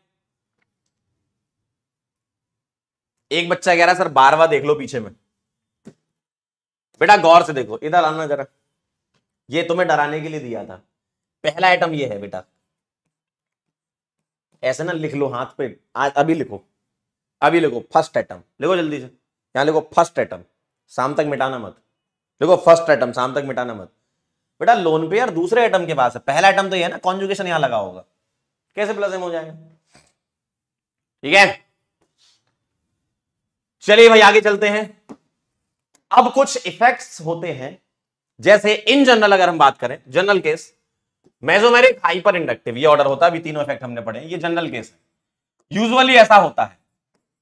लेकिन इसके अलावा कुछ ऐसे ग्रुप्स होते हैं, जो पलट जाते हैं आपकी तरह। ठीक है? Plus M is greater than minus I मतलब ऐसे ग्रुप जो प्लस एम भी दिखाए माइनस आई भी दिखाए। जैसे ओ OH हो गया NH2 हो गया, ठीक है? OCOCS3 हो गया NHCOCS3 हो गया, इस टाइप के ग्रुप ऐसे ग्रुप जो प्लस एम माइनस आई दोनों होते हैं प्लस एम इनका डोमिनेट करता है। Minus I greater plus M ये होता है हेलोजेंस का। हेलोजेंस क्या होते हैं? माइनस आई भी होते हैं प्लस एम भी होते हैं, और minus I greater plus M ये ध्यान रखना है आपको, है ना? Plus M due to lone pair is greater than plus M due to lone pair with internal conjugation जैसे मान लो मेरे पास NH2 लिखा है, ठीक है? तो इसका प्लस एम इसके प्लस एम से ज़्यादा होगा। ध्यान से देखो, यहाँ पर इस नाइट्रोजन को अपना लोन पेयर देना है, ठीक है? यहाँ पर देना है, जो भी अल्कीन या बेंजीन होगी, इसको भी देना है। लेकिन ये सी डबल बॉन्ड बोलेगा, अरे नाइट्रोजन बेटा, इधर तो सुनो, हमारे साथ भी तो कॉन्जुगेशन कर लो। Lone pair single double. तो ये बोलेगा, हमारे साथ भी करो। तो ये इस अल्कीन या बेंजीन से बोलेगा यहाँ पर कि भाई, मेरे को यहाँ थोड़ा काम है। ये नाइट्रोजन, इधर बोलेगा, मेरे को थोड़ा काम है, मैं आता हूँ। यानी कि डोनेशन थोड़ा सा कम हो जाएगा। यानी कि ये एक्चुअल लोन पेयर वाला है, ये lone pair with internal conjugation वाला है। ठीक है? सिमिलरली एक एग्जांपल और देख लीजिए। ओ OH लिखा हो और O C double bond O C S three लिखा हो। सेम वही कहानी है। ये एकदम मज़े से इलेक्ट्रॉन पेयर देगा। और ये अपना लोन पेयर दे रहा होगा तो ये सी डबल बोला, थोड़ा तो हमारे साथ करिए। ठीक है? ये कहानी है। Plus M due to lone pair is greater than plus M due to plus H आप इसको प्लस एच की कैटेगरी भी रख सकते हो। तो आप ऐसा बोल दो mesomeric is greater than hyper conjugation लेकिन अपन अगर इस फॉर्म में लिखना चाहते हो तो बिल्कुल लिख सकते हो। O H is greater than C S three क्योंकि ये लोन पेयर वाला प्लस एम है और ये आप बोल सकते हो प्लस एच भी बोल दो या plus M due to plus H भी बोल सकते हो, कोई दिक्कत नहीं है है ना? यानी कि अल्काइल ग्रुप की प्लस एम पावर या प्लस एच पावर कम होती है कंपेरिजन टू ओएच ठीक है? अगर आप इसको ऐसे करना चाहते हो कि सर मेजोमेरिक तो डोमिनेट करता है से तो भी कोई बात नहीं तो भी सही है, और अगर ऐसे बोलना चाहे तो भी सही है, ठीक है? तो ये कहानी थी कुछ ग्रुप्स की। अब मैं बात कर लेता हूँ आपसे एसिडिक स्ट्रेंथ की, ठीक है? तो अभी तक क्या कहानी है, ध्यान से सुनना। थोड़ा सा मैंने यहाँ पर चेंज किया है। क्या चेंज किया है? मैंने इफ़ेक्ट के साथ साथ आपको सवाल और एप्लीकेशन नहीं कराए। मैंने अभी सारे इफ़ेक्ट समझा दिए, जो बेसिक टर्म थे वो समझा दी ताकि आपका एक क्विक रिवीजन हो जाए। ठीक है, आप गौर से देखें, अभी तक हमने बहुत ज़्यादा सवाल नहीं किए। अभी तक हमने इंडक्टिव समझा क्या होता है एप्लीकेशन भी नहीं करे उसके। हाइपर कॉन्जुगेशन समझा क्या होता है, उसके भी एप्लीकेशन नहीं करे। रेजोनेंस समझा क्या होता है, उसके भी एप्लीकेशन नहीं करे। अब अपन स्टार्ट करने जा रहे हैं। हम एसिडिक स्ट्रेंथ करेंगे बेसिक स्ट्रेंथ करेंगे एरोमेटिसिटी पढ़ेंगे और फिर स्टेबिलिटी ऑफ़ इंटरमीडिएट करेंगे और मेजर पोर्सन आपका कवर हो जाएगा। ठीक है? तो एसिडिक स्ट्रेंथ अपने आप में एक अलग चीज़ होती है। क्योंकि सारे इफ़ेक्ट उसमें लग सकते हैं। इंडक्टिव में भी एसिडिक स्ट्रेंथ होती है रेजोनेंस में भी एसिडिक स्ट्रेंथ होती है है ना? तो अपन एक साथ कवर करेंगे। तो ध्यान से देखना जरा। कोई भी एसिड एसिड क्यों होता बताएँ। और यूजुअली आपसे कार्बोक्सिलिक एसिड में पूछी जाती है, या फिनॉल में पूछी जाएगी, दो है है ना? और अगर इंडक्टिव से पूछेंगे तो एल्कोहल वगैरह में। बताओ, कोई भी एसिड एसिड क्यों होता है? मैं कार्बोक्सिलिक समझा रहा हूँ, ये अपना H प्लस दे देता है। अगर H प्लस दे देगा तो मेरे को आप एक बात बता दो। अगर H प्लस दे देगा तो जो एनाइन बनेगा, ठीक है? जो एनाइन बनेगा, वो स्टेबल होना चाहिए। अगर ये एनाइन स्टेबल है, अगर एनाइन स्टेबल है तो हम बोलेंगे एक अच्छा एसिड सही बात है ना? ये बेसिक है एसिडिक स्ट्रेंथ तो कॉन्जुगेट बेस स्टेबल होना चाहिए। कॉन्जुगेट बेस स्टेबल होना चाहिए, तभी तो एच प्लस देगा। है ना? तो इसको बोलते हैं एसिडिक स्ट्रेंथ अब ये सवाल करने के लिए क्या क्या चीज़ें काम आती हैं, वो देख लें। इन सवालों को करने के लिए क्या क्या चीज़ें काम आती हैं, वो देख लें। ऑर्थो इफ़ेक्ट की बात करें तो इफ़ेक्ट क्या होता है? पहले उसका स्टेटमेंट लिखेंगे, फिर समझेंगे। ऑर्थो सब्सटीट्यूटेड समझना ऑर्थो सब्सटीट्यूटेड बेंजोइक एसिड की एसिडिक स्ट्रेंथ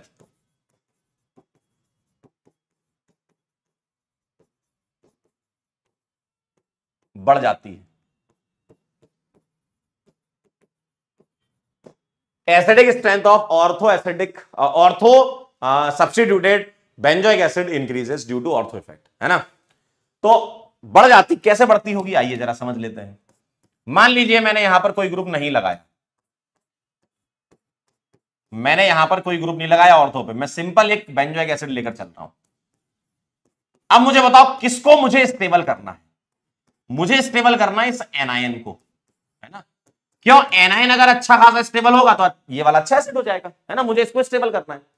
तो मुझे बताइए जरा, ये जो एनायन है, ये रेजोनेंस कर रहा है क्या? बिल्कुल कर रहा है। तो ऑक्सीजन बोलेगा, बहुत बढ़िया। मेरा तो मस्त रेजोनेंस हो रहा है। ठीक है?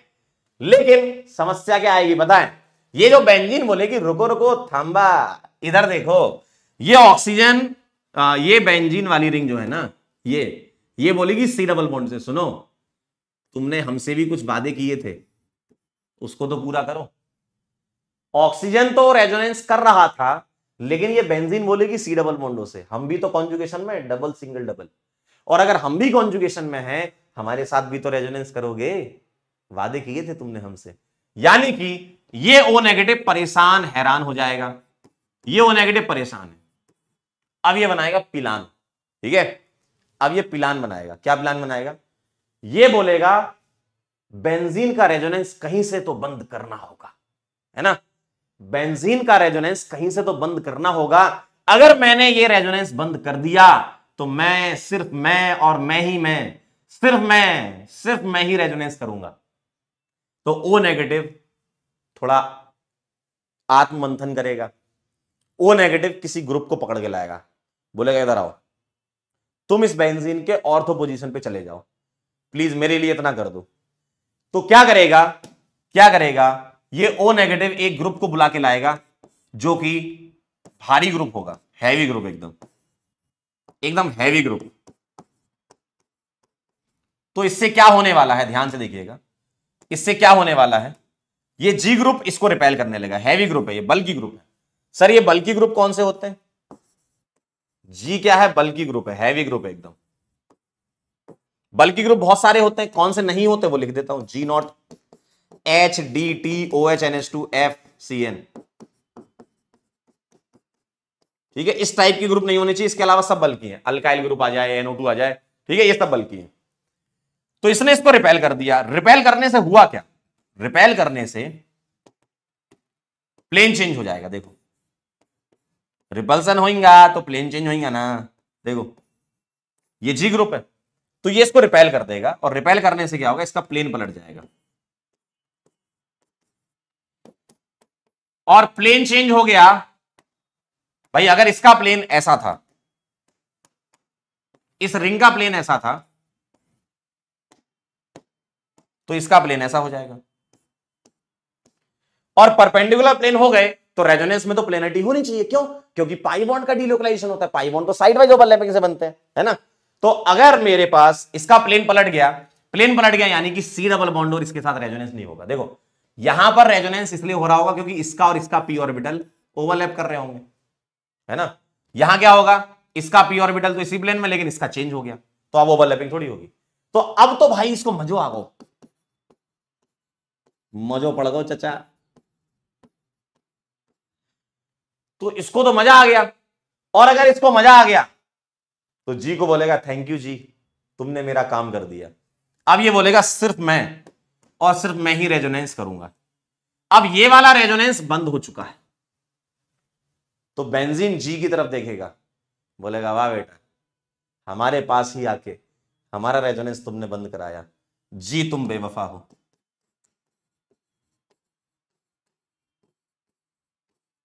जी तुम बेवफा हो। तो बेंजीन पर लग गया जी बेंजीन पर लग गया। बेंजीन बोलेगा, हमारे घर में ही आके हमारा ही रेजोनेंस बंद कराया। तुम हमारे नहीं थे, तुम ओ के थे। वो जो ओ है ना, उसी ने भेजा था जी को। ठीक है?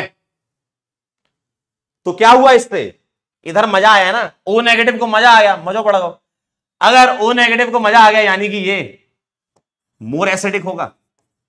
भाई एनाइन को स्टेबल करना था ना। और ये लेस एसिडिक होगा। यही तो कहानी है ऑर्थो इफ़ेक्ट की। ठीक है? और ऑर्थो इफ़ेक्ट एक स्पेशल टाइप का एस आई आर इफ़ेक्ट होता है स्टेरिक इनहिबिशन इन रेजोनेंस अगर बेंजोइक एसिड में होता है तो उसको ऑर्थो इफ़ेक्ट बोलते हैं, ठीक है? तो कभी ऑर्थो बोलो या एस आई आर का टाइप बोलो तो बिल्कुल सही बात है ना? स्टेरिक इनहिबिशन इन रेजोनेंस मतलब स्टेरिक फैक्टर की वजह से, यानी कि बल्कि ग्रुप की वजह से इनहिबिशन इन रेजोनेंस यानी कि रेजोनेंस में रुकावट, ठीक है? क्लियर है एकदम?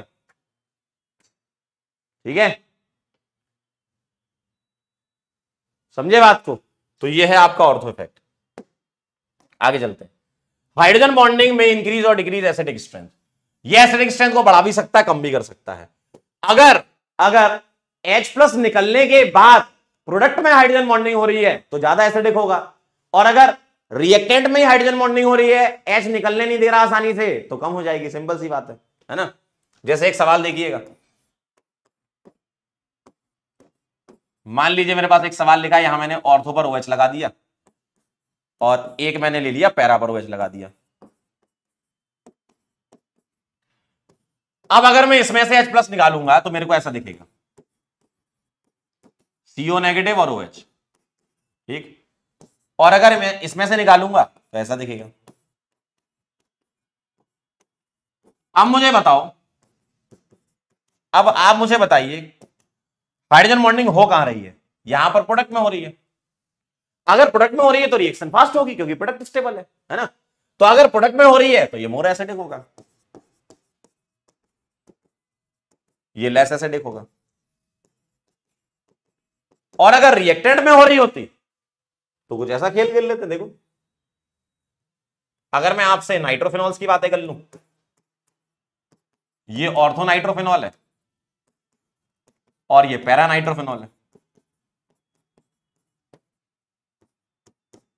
यहाँ H प्लस ऐसा नहीं कि नहीं निकलेगा। निकलेगा, लेकिन आसानी से नहीं निकलेगा। यहाँ पर H प्लस निकलेगा, लेकिन ये इसको अट्रैक्ट करके रखेगा। है ना? अट्रैक्ट अट्रैक्शन भी दिखाएगा तो उसको निकलना थोड़ा मुश्किल है। जबकि यहाँ पर NO2 इसके साथ हाइड्रोजन बॉन्डिंग नहीं कर रहा है तो ये आसानी से H प्लस दे सकता है।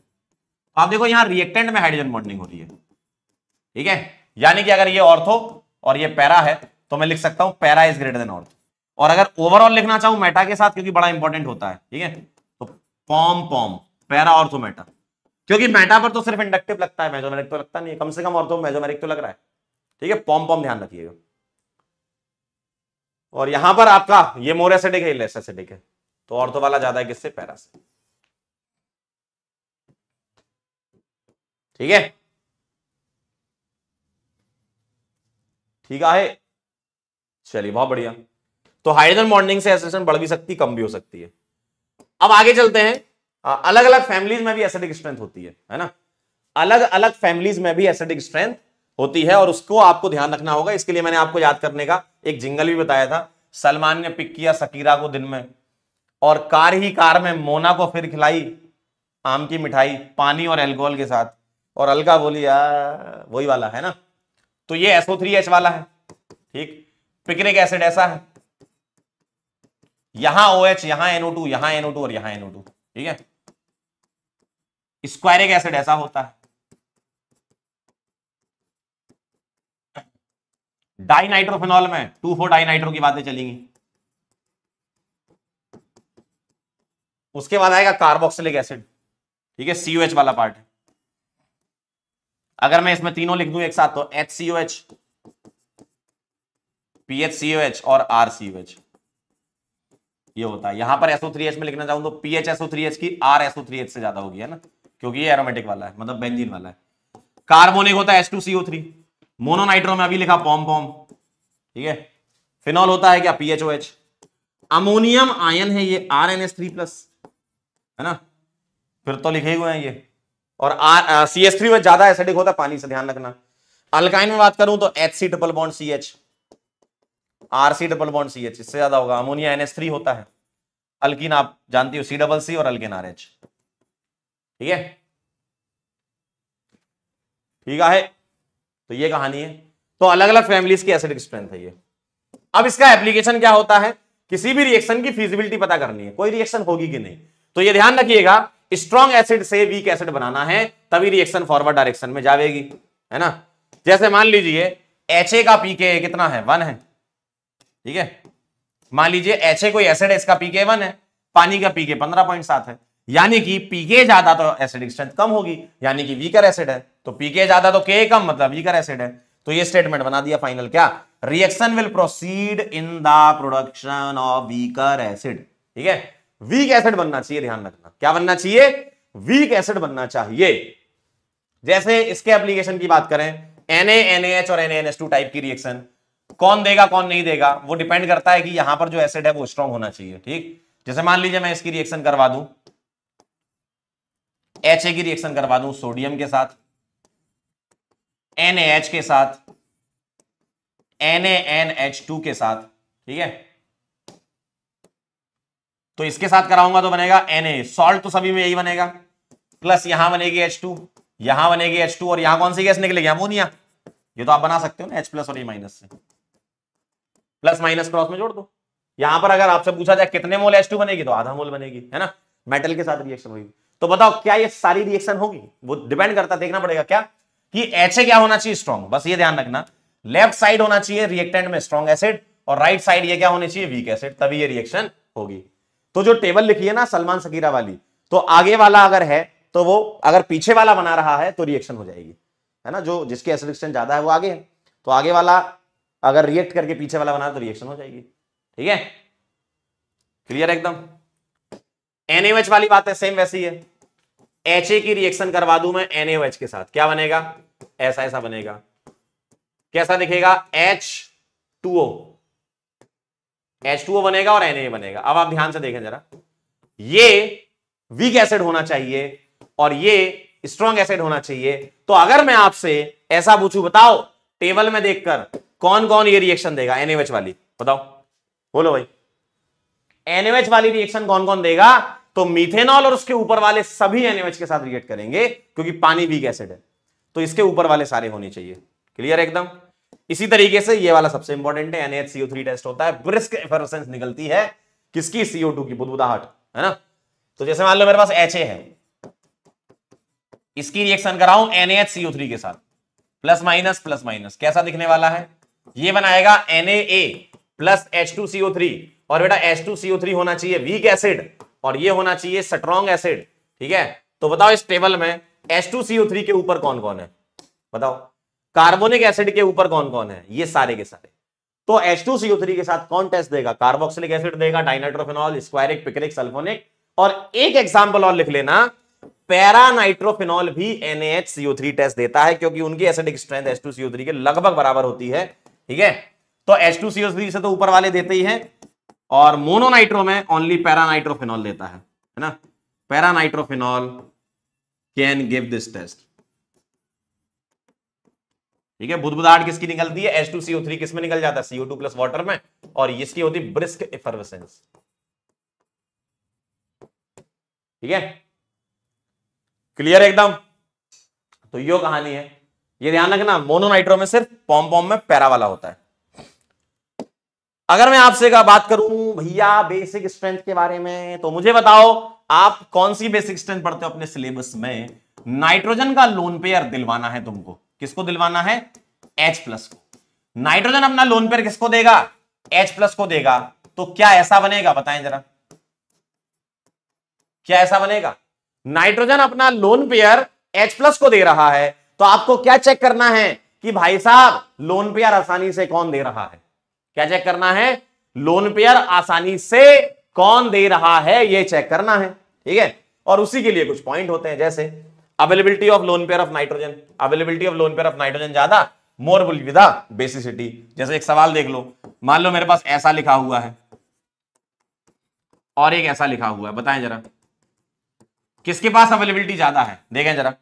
किसके पास अवेलेबिलिटी ज़्यादा है? इसका लोन पे रेजोनेंस में बिज़ी है तो किसी एच प्लस को जो इसके दरवाजे पे खड़ा होगा बोलेगा, भाई सुनो, मैं कर रहा हूँ रेजोनेंस है ना? मैं कर रहा हूँ रेजोनेंस अभी रुक जाओ।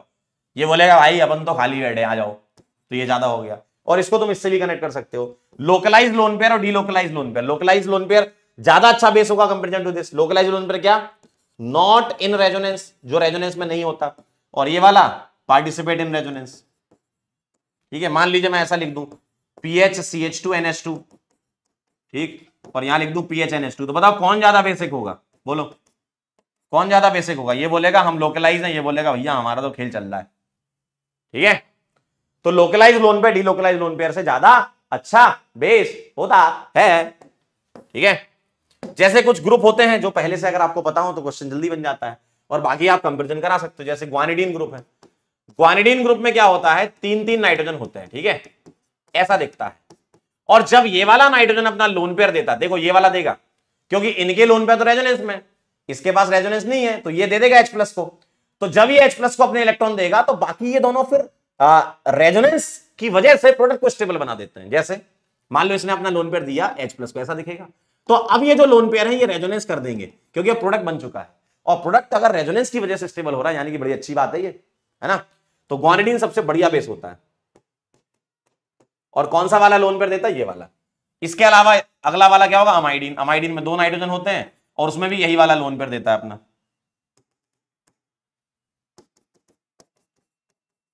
ठीक है?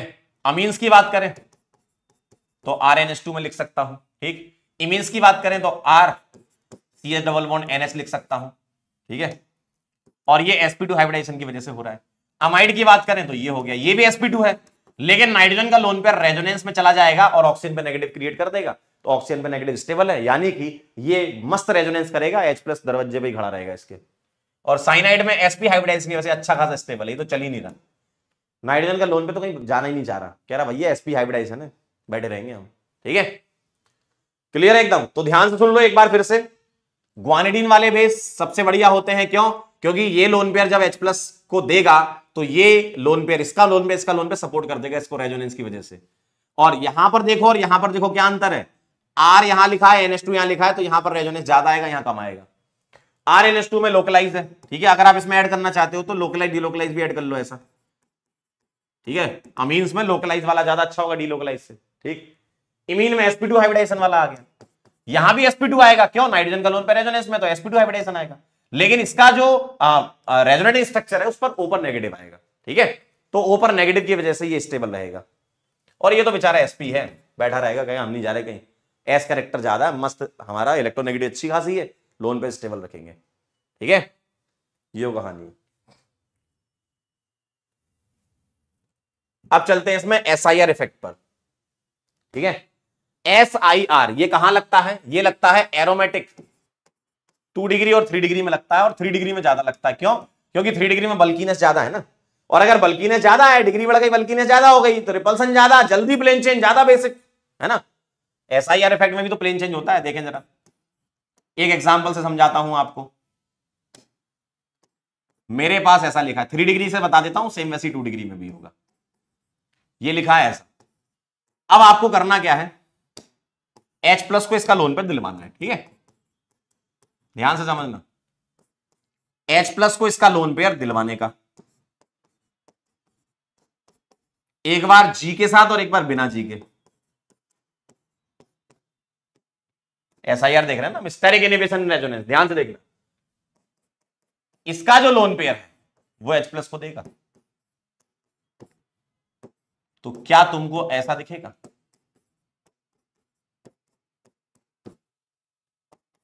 ये अपना लोन पेयर इसको देगा। क्या तुमको ऐसा दिखेगा? अब मुझे बताओ कौन आसानी से अपना इलेक्ट्रॉन पेयर दे रहा था? बोलो। कौन आसानी से अपना लोन पेयर दे रहा था? ध्यान से देखें। यहाँ पर यहाँ पर क्या है? ये जीस को रिपेल करेगा। रिपेल करेगा तो इसका प्लेन और इसका प्लेन अलग अलग होगा। अगर प्लेन अलग अलग होगा तो इसका लोन पेयर यहाँ रेजोनेंस नहीं कर पाएगा। भाई, ये तो अलग प्लेन में है। इसका लोन पेयर इसको तो देगा, लेकिन साथ ही साथ वो बोलेगा, भैया, मुझे यहाँ भी तो रेजोनेंस करना है। तो यहाँ पर less available less available lone pair है, क्योंकि ये रेजोनेंस भी कर रहा है। और ये वाला क्या है बेटा? मोर अवेलेबल है। क्यों? क्योंकि ये रेजोनेंस नहीं कर पा रहा बेंजीन रिंग से। यानी कि ये वाला ज़्यादा ये वाला कम अवेलेबल ये ज़्यादा है, यानी कि बेसिक स्ट्रेंथ बढ़ गई। तो एसआईआर से क्या होता है? बेसिक स्ट्रेंथ बढ़ जाती है। ठीक है? यानी कि ये मोर बेसिक होगा। एस आई आर से बेसिक स्ट्रेंथ बढ़ जाती है। मोर बेसिक होगा और ये लेस बेसिक होगा। यानी कि सर सर सर रुको रुको रुको। एस आई आर से एसिडिक स्ट्रेंथ भी बढ़ती है, जी हाँ। और बेसिक भी बढ़ती है, जी हाँ। क्या बोला मैंने? एस आई आर से एसिडिक स्ट्रेंथ भी बढ़ती है और बेसिक स्ट्रेंथ भी बढ़ती है। जल्दी से बता दो फटाफट से। क्या ये बात सही है? एस आई आर से एसिडिक स्ट्रेंथ भी बढ़ती है और बेसिक भी बढ़ती है। क्या ये बात सही है? जल्दी बोलो। दोनों ही स्ट्रेंथ बढ़ जाती है।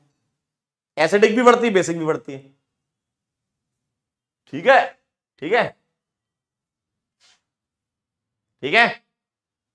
चलिए, बहुत बढ़िया। आइए जरा एस आई पी इफ़ेक्ट के बारे में बात कर लेते हैं, ठीक है? एस आई पी यह है स्टेरिक इनिबिशन इन प्रोटोनेशन ठीक है? ये लगता है एरोमेटिक वन डिग्री अमीन में। एरोमेटिक वन डिग्री अमीन में लगता है मालिक, ध्यान से समझना।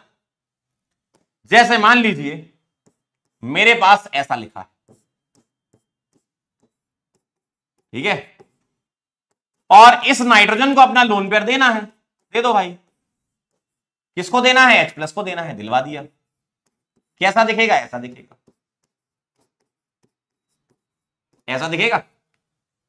लेकिन अगर मैंने यहाँ जी ग्रुप लगा दिया। अगर मैंने यहाँ जी ग्रुप लगा दिया।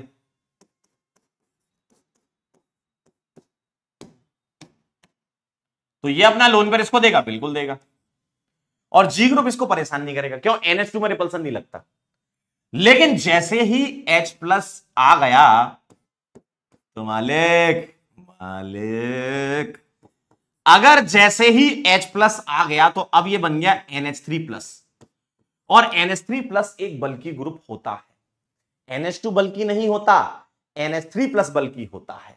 और NH3 प्लस बल्कि होता है तो ये जो जी वाला ग्रुप है ये NH3 प्लस को करेगा रिपेल और रिपेल करेगा, यानी कि रिपेल से क्या हो जाएगा? लेस स्टेबल अरे रिपल्सन से स्टेबिलिटी कम हो जाती है ना। तो ये लेस स्टेबल है। ये लेस है, यहाँ रिपल्सन नहीं तो मोर स्टेबल है। अब मुझे बताओ, अगर ये लेस स्टेबल है तो ये लेस डोनेशन करेगा ना? और लेस डोनेशन यानी कि लेस बेसिक होगा। कंपेरिजन टू दिस वन ये मोर स्टेबल है यानी कि मोर बेसिक होगा, तभी तो मोर स्टेबिलिटी आ रही है। यानी कि जी ग्रुप के आने से क्या हुआ? बेसिक स्ट्रेंथ कम हो जाती है। बेसिक स्ट्रेंथ कम हो जाती है। तो एस आई आर से बेसिक स्ट्रेंथ बढ़ती है और एस आई पी से बेसिक स्ट्रेंथ कम होती है। क्लियर है एकदम? क्लियर है एकदम? ठीक है? यो कहानी है। अब यहाँ पर एक इंपॉर्टेंट बात होती है, उसको कवर करना ज़रूरी है। क्या? Basic strength in aqueous medium ठीक है?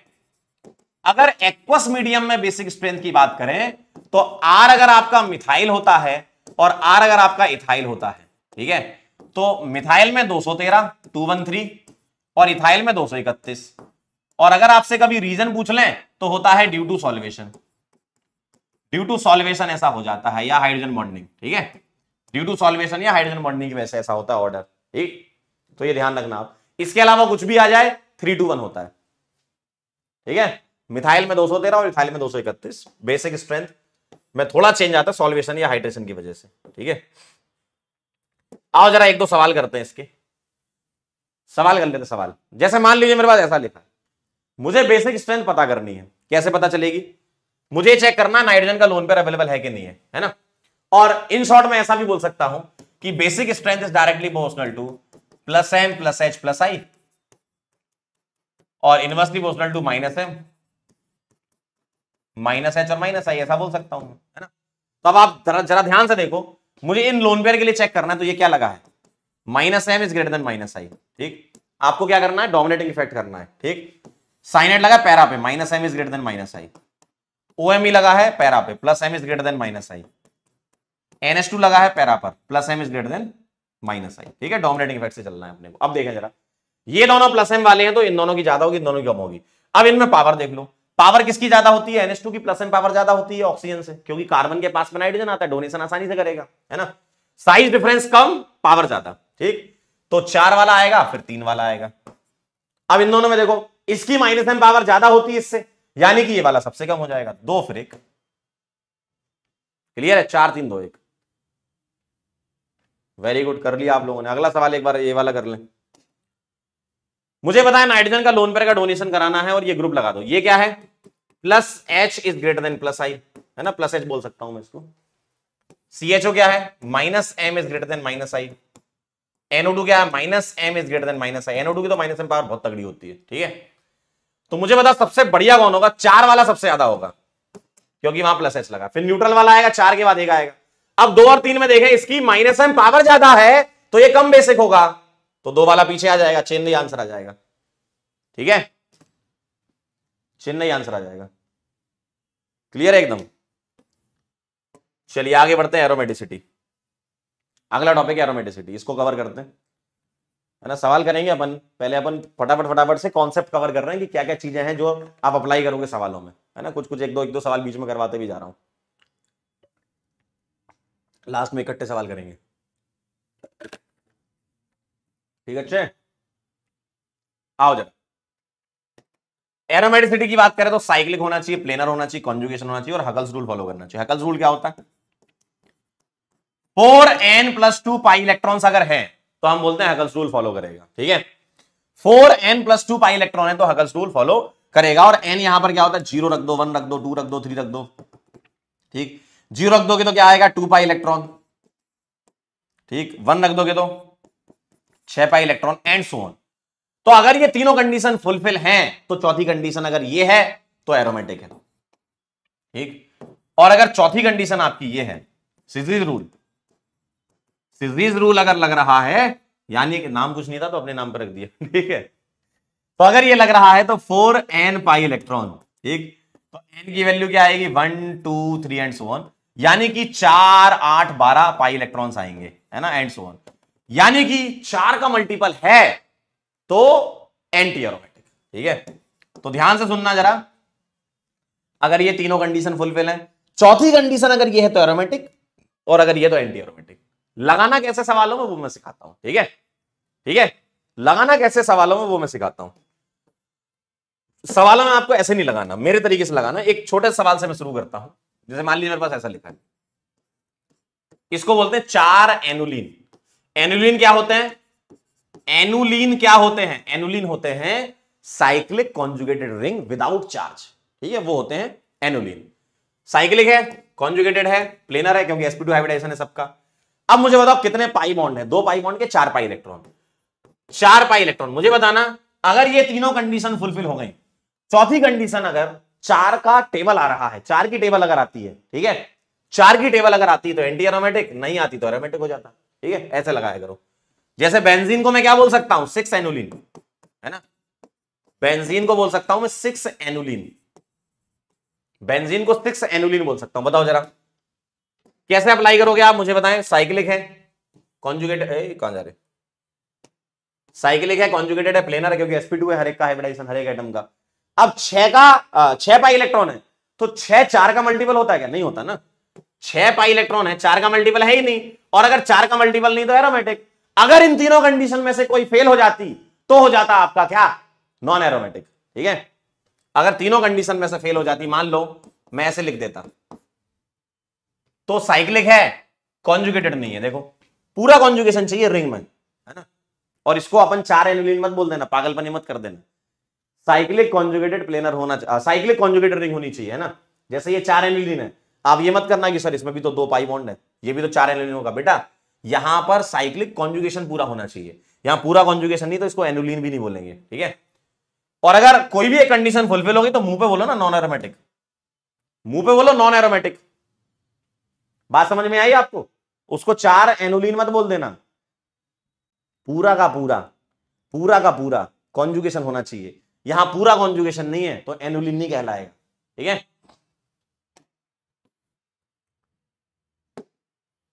चलिए, आगे बढ़ते हैं। अब मैं कुछ और दे रहा हूँ आपको सवाल। आठ एनुलिन, बड़ा इंपॉर्टेंट है ये वाला, आठ और दस वाला। आठ एनुलिन सॉरी आठ वाला पहले बना लेते हैं, फिर दस वाला बनाएँगे। एट एनुलिन, बताएँ जरा। ठीक साइक्लिक है, बिल्कुल सही कॉन्जुगेटेड नहीं है। क्यों नहीं है, देखो, ये होता है टब लाइक स्ट्रक्चर इसका होता है टब लाइक स्ट्रक्चर और tub like structure non planar है। भाई रेजोनेंस के लिए तो प्लेनरिटी चाहिए ना तुम्हें। ये बेटा ऐसा होता है, ये बाहर की तरफ़ निकला हुआ है ऐसा। ये टब लाइक स्ट्रक्चर होता है, बाहर की तरफ़ निकला है ऐसा। टब देखा ना सबने, वैसा। ऊपर की तरफ़ ऐसा निकला है। तो ये टब लाइक स्ट्रक्चर होता है, और टब लाइक स्ट्रक्चर है यानी कि बॉन्ड इसके अलग प्लेन में चले गए। तो कॉन्जुगेशन थोड़ी होगा। रेजोनेंस के लिए प्लेनरिटी होनी चाहिए। पाई बॉन्ड ऐसे होने चाहिए, तभी तो ओवरलैपिंग करेगा। ठीक है? तो टब लाइक स्ट्रक्चर की वजह से नॉन प्लेनर हो जाता है। और नॉन प्लेनर हो गया, यानी कि ये क्या हो गया? नॉन एरोमेटिक हो गया। इसी तरीके से टेन एमलिन वाला ध्यान रखिएगा।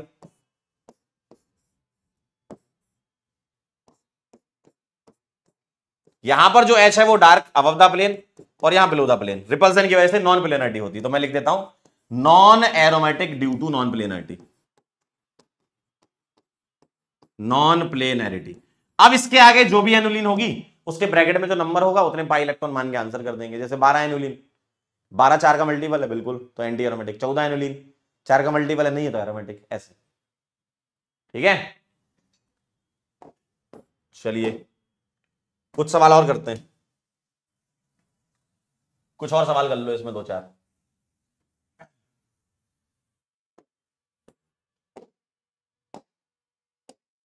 चलिए। अगला सवाल आ रहा है। तीन की रिंग में प्लस बताएँ। तीन की रिंग में माइनस बताएँ। और तीन की रिंग में रेडिकल बताएँ। बोले भाई। साइक्लिक तीनों हैं, बिल्कुल साफ़ साफ़ दिख रही हैं। कॉन्जुगेटेड देखें, ये भी है, ये भी है और ये भी है, कॉन्जुगेटेड भी है। प्लेनर भी है, बिल्कुल सही बात। अब यहाँ देखें जरा, दो पाई इलेक्ट्रॉन आ रहे हैं। दो पाई इलेक्ट्रॉन क्या हो गया? एरोमेटिक हो गया। चार का मल्टीपल थोड़ी है। यहाँ चार पाई इलेक्ट्रॉन आ रहे हैं, कैसे? ये पाई बॉन्ड के दो इलेक्ट्रॉन और इसके भी लोन नेगेटिव चार्ज यानी कि लोन पेयर होगा, यानी कि एंटी एरोमेटिक चार पाई इलेक्ट्रॉन। ठीक? और रेडिकल तो बेटा नॉन एरोमेटिक होगा। अरे यार, मुझे एक बात बताओ, मुझे एक बात बताओ। रेडिकल मतलब ऑड इलेक्ट्रॉन जबकि चाहे अकल्स रूल हो, चाहे सिजिज रूल हो, उसमें इवन इलेक्ट्रॉन होते हैं ना और तो होते नहीं यानी कि फ्री रेडिकल नॉन एरोमेटिक होता है। ठीक है? फ्री रेडिकल नॉन एरोमेटिक होता है। अगर मैं आपसे पूछूँ पाँच की रिंग में पॉजिटिव,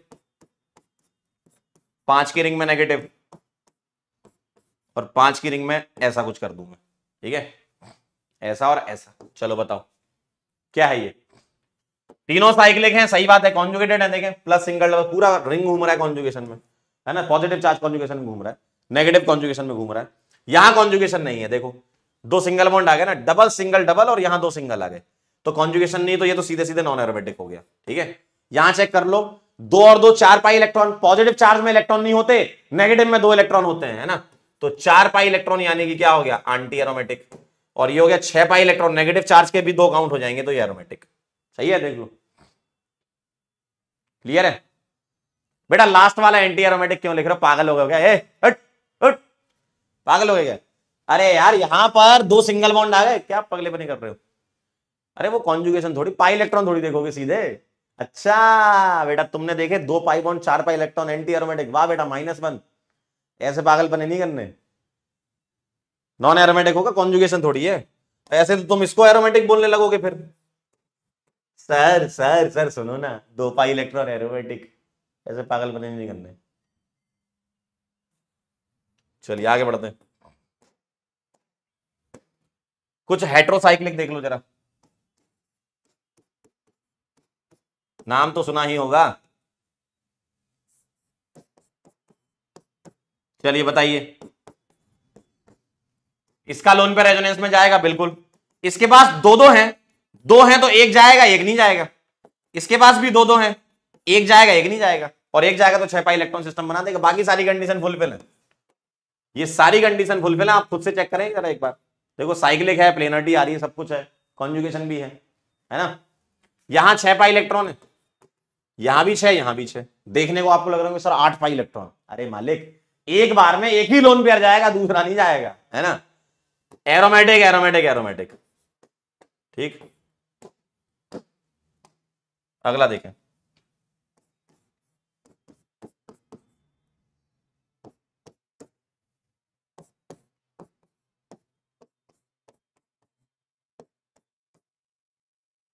चलिए जरा, ये बताएँ ये बताएँ और। एक सात की रिंग और एक पाँच की रिंग। ऐसा। चलिए, बोले। साइक्लिक है सारे, बिल्कुल सही है। कॉन्जुगेशन है, बिल्कुल सारा में। प्लेनर भी सभी में है, ठीक है? अब देखें जरा। इसका लोन पेयर रेजोनेंस में मत भेज देना, पागल। अगर मैंने इसका लोन पेयर रेजोनेंस में भेजा तो इसका हाइब्रिडाइजेशन एसपी हो जाएगा। एसपी मतलब लीनियर हो जाएगा, और लीनियर तो हो नहीं सकता। क्यों? बॉन्ड एंगल 180 हो जाएगा, पागलों, और 180 हो जाएगा, यानी कि रिंग टूट जाएगी, ठीक है? तो ये लोन पे रेजोनेंस में नहीं जाता, ठीक है? ध्यान रखिएगा। तो कितने पाई इलेक्ट्रॉन घूम रहे हैं? साइकिल में, छह पाई इलेक्ट्रॉन एरोमेटिक यहाँ पर भी देखो, इसका लोन पेयर कहीं नहीं जाएगा, इसका लोन पेयर भी कहीं नहीं जाएगा, यानी कि ये भी छह पाई इलेक्ट्रॉन वाला सिस्टम ही कहलाएगा। एरोमेटिक और यहाँ ध्यान से देखें जरा, ये सात की रिंग और एक पाँच की रिंग कभी ऐसे मल्टीपल रिंग्स अगर आ जाती हैं तो आप क्या करा करो पेरी फेरी पे कॉन्जुगेशन देखा और कैसे?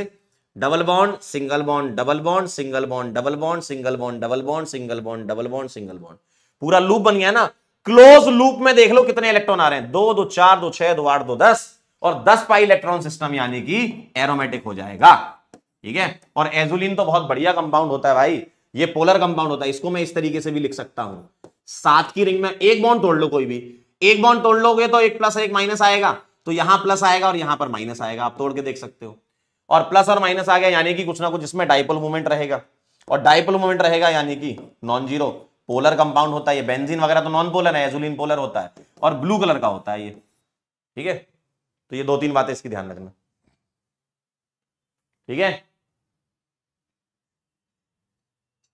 ये कहानी है। इसी तरीके से आप सवाल कर सकते हो। आप अपन इसके एप्लीकेशन देख लेते हैं। एप्लीकेशन में अगर हम बात करें तो रिएक्टिविटी विद एचएक्स और फोर है ना? एच एक्स और फोर के लिए हमें चेक करना है। और आपको जो बात ध्यान रखनी वो ये ध्यान रखनी है, कभी भी अगर स्टेबिलिटी की बात आएँगी तो एरोमेटिक कंपाउंड ज़्यादा स्टेबल होगा फिर नॉन एरोमेटिक होगा और फिर एंटी एरोमेटिक होगा ठीक है? चलिए, जैसे मान लीजिए मेरे पास ऐसा लिखा है, और एक ऐसा लिखा है।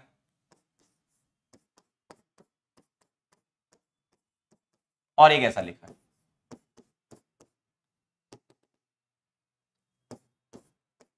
अब मुझे स्टेबिलिटी बताना है एच एक्स या एच टू एस बताओ ये क्या करेंगे? ये दोनों क्या करेंगे बताओ? ये दोनों एच प्लस देंगे। तो अगर इसको एच प्लस मिलेगा तो पानी निकल के यहाँ प्लस इसको एच प्लस मिलेगा, पानी निकाल के यहाँ प्लस और इसको एच प्लस मिलेगा, पानी निकाल के यहाँ प्लस अब मुझे बताओ, ये वाला एरोमेटिक है, ये वाला एरोमेटिक है, ये वाला नॉन सॉरी एंटी एरोमेटिक है, ठीक है? ये वाला एंटी एरोमेटिक है। और कभी अगर आपसे कोई ऐसा सवाल पूछ ले कि अनस्टेबल एट रूम टेम्परेचर तो एंटी एरोमेटिक रूम टेम्परेचर पे अनस्टेबल होते हैं, ठीक है? तो ये दोनों एरोमेटिक है एंटी एरोमेटिक हटा दिया मतलब ये पीछे आ गया। अब इन दोनों में देखो एरोमेटिक के बाद अगला इफ़ेक्ट आपको सोचना रेजोनेंस तो यहाँ बोलूँगा मैं मोर कॉन्जुगेशन देखो plus single double single double single double यहाँ तो प्लस सिंगल डबल तो मोर कॉन्जुगेशन यहाँ लेस कॉन्जुगेशन ठीक है तो ये ज़्यादा हो जाएगा इससे। इस तरीके से आप कर सकते हो। वन टू थ्री ठीक है? अगला देखें जरा एजीएनओ थ्री और एसबीसीएल फाइव ये लुविस एसिड होते हैं। लुविस एसिड होते हैं। मान लीजिए मेरे पास ऐसा लिखा है यहाँ सीएल लगा रखा है मैंने, और यहाँ सीएल लगा रखा है। अब एजी प्लस क्या करेगा? एजी प्लस क्या करेगा? या एसबीसीएल फाइव क्या करेगा? ले जाएगा सीएल कैसे? ये माइनस और ये प्लस में टूटेगा। और अगर सीएल माइनस इसके पास जाएगा तो एजीसीएल बना लेगा, इसके पास जाएगा तो एसबीसीएल सिक्स नेगेटिव बना लेगा। मतलब अल्टीमेटली कार्बोकेटाइन को पीछे छोड़ जाएगा। ये एरोमेटिक और ये एंटी एरोमेटिक है, यानी कि ज़्यादा होगा। है ना? रेट ऑफ़ रिएक्शन इसकी ज़्यादा होगी। और एक तीसरा एप्लीकेशन है, अगर एसिडिक स्ट्रेंथ की बात पूछ ली तो तुमको क्या करना है? एच प्लस निकालना है। तो यहाँ से एच निकाल के देखेंगे और यहाँ से एच निकाल के देखेंगे। बताओ जरा। अगर मैंने यहाँ से एच प्लस निकाला एच प्लस निकालना प्लस तो ये प्लस ये माइनस ये प्लस ये माइनस ये चार पाई इलेक्ट्रॉन एंटी एरोमेटिक और ये छह पाई इलेक्ट्रॉन एरोमेटिक ये हो जाएगा। है ना? ये कहानी है। जैसे ये वाला सवाल अगर आपसे पूछ ले कि not stable at room temperature तो आप ये पता करो एंटी एरोमेटिक कौन सा है इनमें। और अभी देखा हमने, चार एनुलिन एंटी एरोमेटिक होता है, ठीक है? एक सवाल ऐसा है कि अगर इनकी आपसे रेट ऑफ़ रिएक्शन पूछ ले तो कैसे करोगे? ध्यान से देखना। यहाँ पर प्लस आया है और ये नॉन एरोमेटिक है। यहाँ प्लस आया, ये एंटी एरोमेटिक है, ठीक? यहाँ माइनस आया एरोमेटिक है। तो तीन एक दो आ जाएगा। तीन एक दो आ जाएगा। सही बात है? एरोमेटिक नॉन एरोमेटिक फिर एंटी एरोमेटिक क्लियर है बात? यो कहानी है। लास्ट इंपॉर्टेंट टॉपिक बाकी तो छोटे छोटे से इनऑल कंटेंट वगैरह है इलेक्ट्रोफाइल न्यूक्लियोफाइल और टाइप ऑफ़ रिएक्शन और ये सबसे इंपॉर्टेंट है। यहाँ पर जितने स्टार लगा उतने कम है। आप ये समझ लो कि इसका कोई ना कोई सवाल मिलना चाहिए मेरे हिसाब से तो देखो, क्योंकि ये बहुत इंपॉर्टेंट होता है। इसका सवाल मिलना चाहिए जीवन में। स्टेबिलिटी ऑफ़ इंटरमीडिएट का, है ना? ठीक है? स्टेबिलिटी ऑफ़ इंटरमीडिएट का सवाल दिखना चाहिए। बोले भाई, शुरू करें फिर खेल। आयुष जी कह रहे हैं ब्रेड रूल बेटा ब्रेड रूल हो तो गया, और कितनी ब्रेड खाओगे? बटर खत्म हो गया अब तो। तुम ब्रेड पे अटके हुए हो।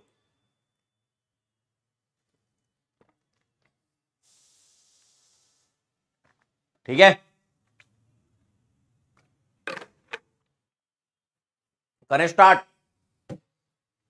आओ जरा।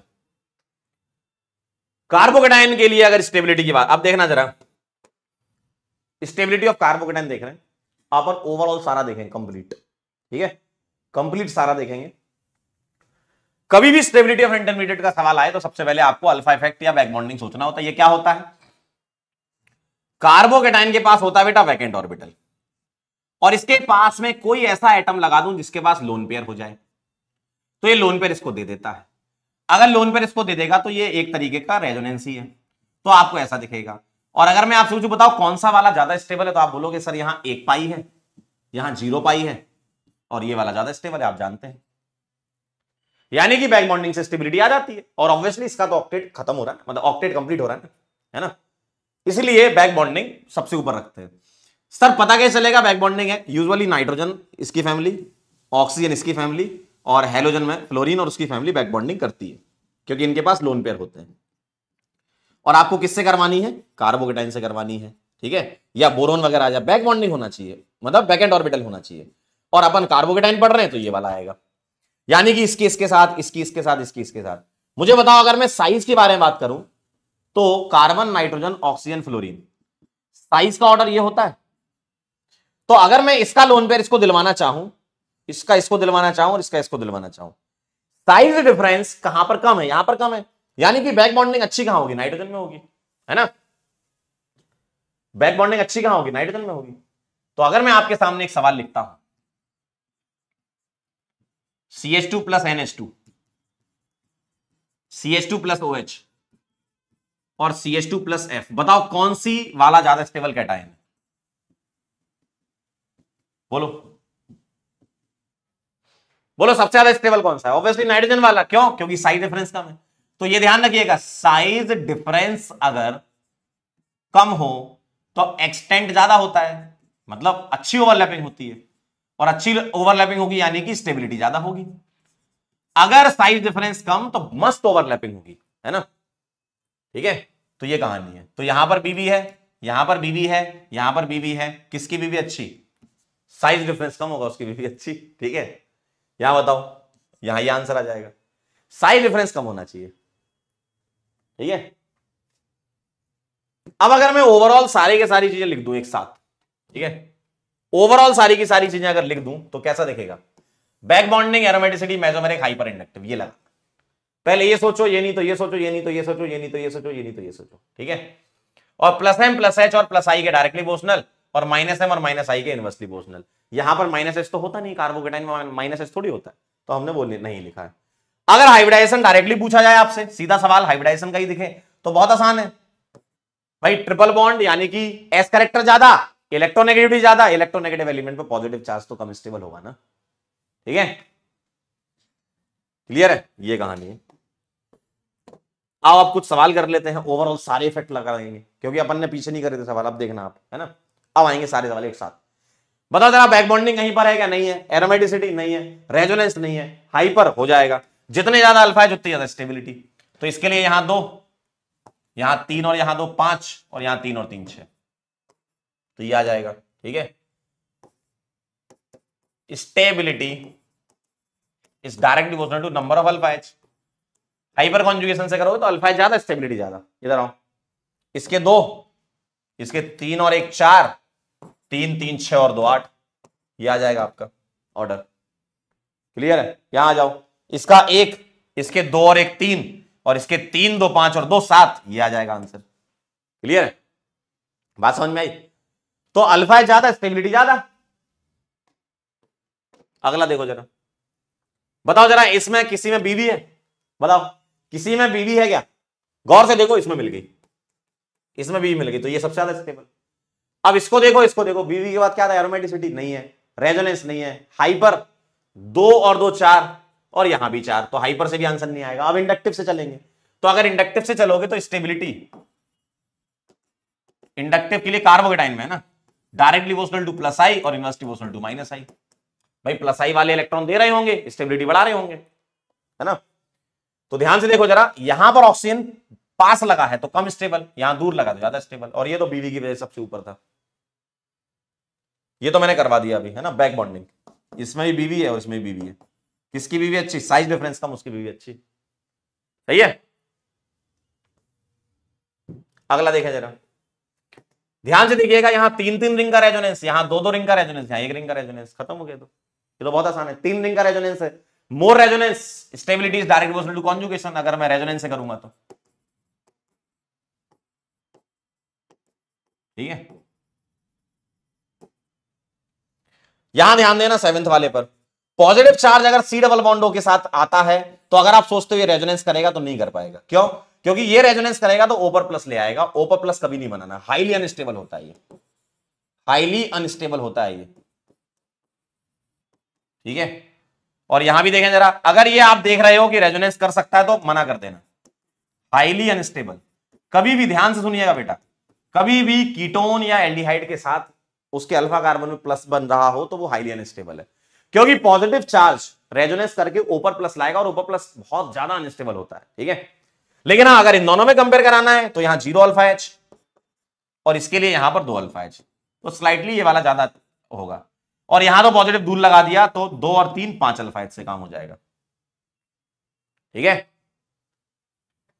चलिए, बहुत बढ़िया। अगला सवाल बताइए जरा ध्यान से। यहाँ तो पूरी रिंग का रेजोनेंस आ रहा है। यहाँ एक्सटेंडेड कॉन्जुगेशन यहाँ तक आ रहा है और यहाँ तो एक ही बार कॉन्जुगेशन आ रहा है। मतलब दो कॉन्जुगेशन एक कॉन्जुगेशन ऐसा बोल दो आप। इसमें बताइए जरा, यहाँ रेजोनेंस आ रहा है, ये नॉन एरोमेटिक है और ये एंटी एरोमेटिक है है ना? नॉन एरोमेटिक तो ये भी है, लेकिन अगर इन दोनों में कंपेयर कराना हो तो ये वाला ज़्यादा स्टेबल है। ठीक है? अगला देखें जरा। इसमें देखें कहीं बीबी है क्या? नहीं है। एरोमेटिसिटी नहीं है ओपन चेन है। रेजोनेंस देख लेते हैं। प्लस सिंगल डबल एक बार प्लस सिंगल डबल एक बार plus single single no resonance यहाँ कोई रेजोनेंस नहीं है, यहाँ रेजोनेंस मिल रहा है, और यहाँ रेजोनेंस मिल रहा है। ठीक है? अब इसके अलावा हाइपर देखो, इसके लिए यहाँ पर तीन अल्फ़ा एच एक्स्ट्रा आ गए। यहाँ नहीं है तो ये आ जाएगा आंसर ठीक है? यहाँ देखो, इधर बीबी आ गई। ये आ जाएगा आंसर बीबी नो बीबी ठीक है? अगला देखो। पैरा पर लगा है ग्रुप तो ये सारे प्लस एच टाइप के ग्रुप मिलेंगे, देख लेते हैं। तीन अल्फ़ा एच भाई, इस अल्की इस बेंजीन के लिए तीन अल्फ़ा एच आएँगे ना। यहाँ दो अल्फ़ा एच हाइपर कॉन्जुगेशन यहाँ एक अल्फ़ा एच यहाँ तो हाइपर कॉन्जुगेशन लगेगा नहीं ज़ीरो अल्फ़ा एच और हाइपर कॉन्जुगेशन डोमिनेट करता है इंडक्टिव पर। ठीक है? अब यहाँ देखो, इन्होंने मेटा पे लगा दिया। मेटा पर तो हाइपर कॉन्जुगेशन लगेगा नहीं एम नहीं लगता तो एच भी नहीं लगेगा। इंडक्टिव ज़रूर लगता है। तो इंडक्टिव में देखेंगे नंबर ऑफ़ कार्बन ज़्यादा तो इंडक्टिव इफ़ेक्ट ज़्यादा। इंडक्टिव के डायरेक्टली पोस्टल होता है प्लस आई के। ठीक है? क्लियर है? ये समझे आप? मेटा पर हाइपर लगेगा ही नहीं क्योंकि बाईपास हो जाता है चार्ज तो मेजोमेरिक नहीं लगता तो हाइपर भी नहीं लगेगा। यानी कि सिर्फ़ आप इंडक्टिव से आंसर करोगे। ठीक है? कुछ प्रॉपर्टीज़ हैं जैसे लोकलाइज डीलोकलाइज कार्बोकेटाइन देखो। ये डिलोकलाइज है लोकलाइज है। एसपी टू होते हैं दोनों ट्राइगोनल प्लेनर होते हैं दोनों वैकेंट ऑर्बिटल होता है लुविस एसिड होते हैं डायमैग्नेटिक होते हैं मैग्नेटिक मूवमेंट ज़ीरो होता है। है ना, ये कुछ प्रॉपर्टीज़ एक डांसिंग रेजोनेंस का केस है, इसमें क्या होता है? बेंड पी ओवरलैपिंग भी बोलते हैं इसको। तीन की रिंग का पॉजिटिव चार्ज तीन की रिंग पर पॉजिटिव चार्ज मतलब तीन रिंग के बाहर पॉजिटिव चार्ज ज़्यादा स्टेबल होता है। ठीक है? दो की रिंग से, और ये ज़्यादा होगा एक की रिंग से। ठीक है? तो डांसिंग रेजोनेंस में होता क्या? बैंड पी ओवरलैपिंग होती है। जब कभी भी तीन की रिंग होती है तो उसके बाहर लगे हुए कार्बन के पास अगर पॉजिटिव चार्ज है तो वो हाईली स्टेबल हो जाता है, क्योंकि बैंड पी ओवरलैपिंग यहाँ होती है इस तरीके से देखो। इसके लोब ऐसे होते हैं। ठीक है? इस तरीके से दिखते हैं इसके लोब तो यहाँ इलेक्ट्रॉन डेंसिटी बहुत ज़्यादा होती है, और इलेक्ट्रॉन डेंसिटी बहुत ज़्यादा होती है तो ये इसको स्टेबल कर देता है डांसिंग रेजोनेंस की वजह से। ठीक है? और एक पॉइंट और लिखना चाहते हैं अपन। नो अल्फ़ा एच ध्यान रखना, बिल्कुल स्पेसिफिक है। नाइन अल्फ़ा एच वाला कंपाउंड एक रिंग के रेजोनेंस से ज़्यादा होता है, ये ध्यान रखना। नाइन अल्फ़ा एच वाला वन रिंग के रेजोनेंस से ज़्यादा होता है। इसके अलावा कुछ भी आ जाएगा तो जैसे आप करते हो नॉर्मल ऑर्डर वैसे ही करना है। क्या सोचना है? Back bonding aromaticity mesomeric hyper और इंडक्टिव वैसे ही सोचना है। बस ये ध्यान रखने का अलग से नाइन अल्फ़ा एच वाला, एक रिंग के रेजोनेंस से ज़्यादा सटेबल होता है। आइए, जैसे हमने कार्बोकेटाइन में किया, वैसे कार्बोनाइन में देख लेते हैं। यहाँ भी बैक बॉन्डिंग होती है, और यहाँ के बैक बॉन्डिंग को बोलते हैं डी ऑर्बिटल रेजोनेंस है ना? यहाँ क्या होगा? कार्बोनाइन होगा, यानी कि इसके पास लोन पेयर होगा, और इस ए के पास वैकेंट ऑर्बिटल होगा। हालाँकि इसके पास लोन पेयर भी होता है, लेकिन उसके पास वैकेंट ऑर्बिटल भी होगा, और कौन सा होगा? डी वाला। यूजुअली क्या मिलेगा?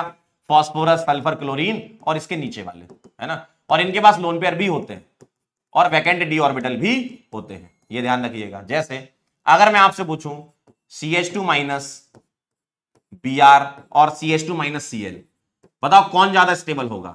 आप बोलोगे, सर, इसके पास भी वैकेंट ऑर्बिटल इसके पास भी वैकेंट ऑर्बिटल ये अपना लोन पेयर इसको देगा, बिल्कुल देगा। सीएल वाला ज़्यादा अच्छा क्यों बोला? साइज़ डिफरेंस बैक बॉन्डिंग चाहे कार्बोकेटाइन में हो, चाहे कार्बोनाइन में हो एक्सटेंट पर ही डिपेंड करेगा, क्योंकि बैक बॉन्डिंग है क्या एक्चुअल में? साइड वाइज ओवरलैपिंग ही तो है। यानी कि पाई बॉन्ड बनना है।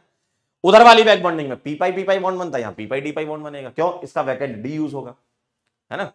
तो साइज़ डिफरेंस से ही आंसर आएगा। साइज़ डिफरेंस यहाँ कम होगा तो ज़्यादा स्टेबल हो जाएगा, क्योंकि क्लोरीन कार्बन के करीब होता है ब्रोमीन दूर होता है है ना?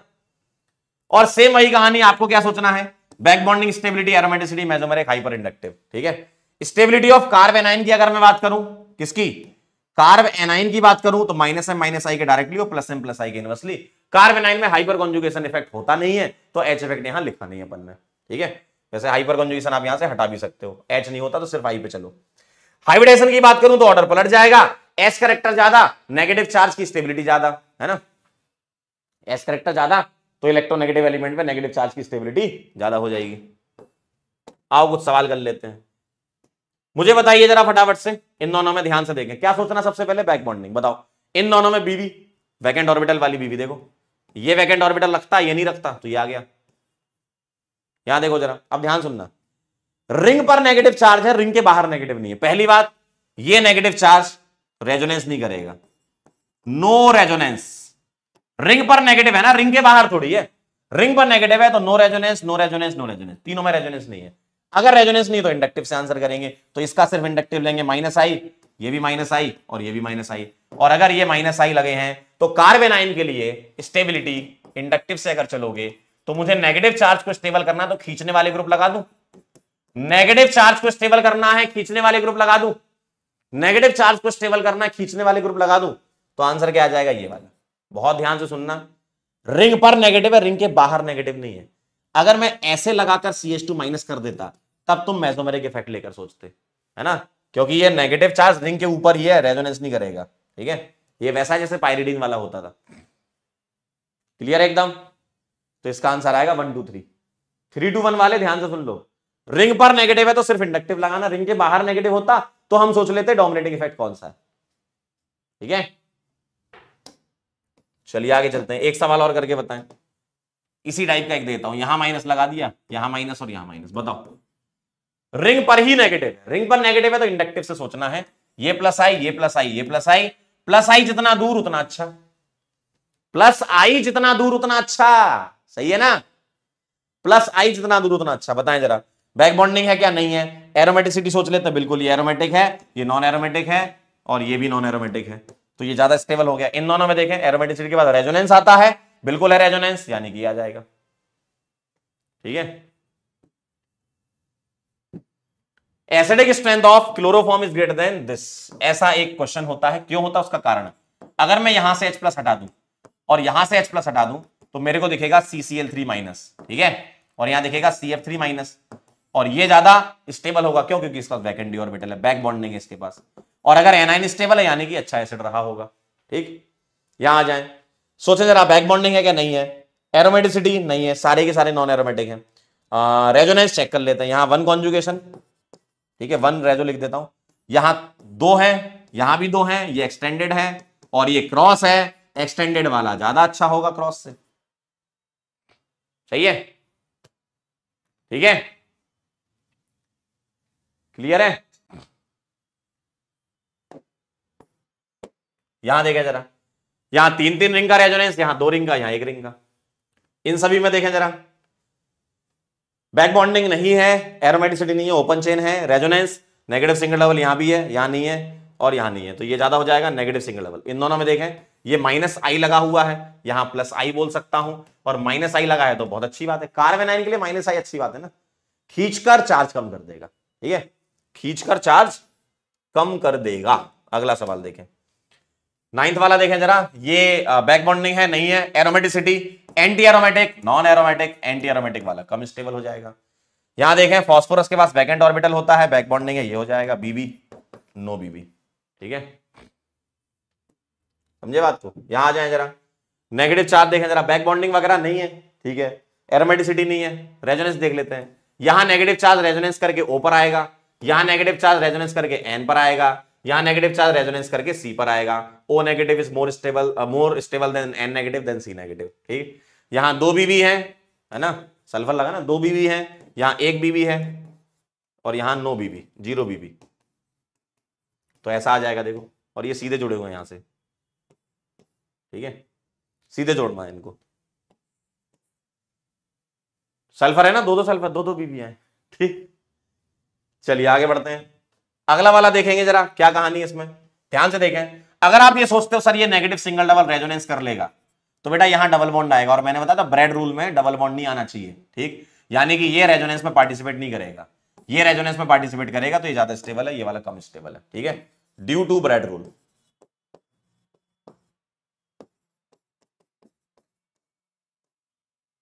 ठीक है?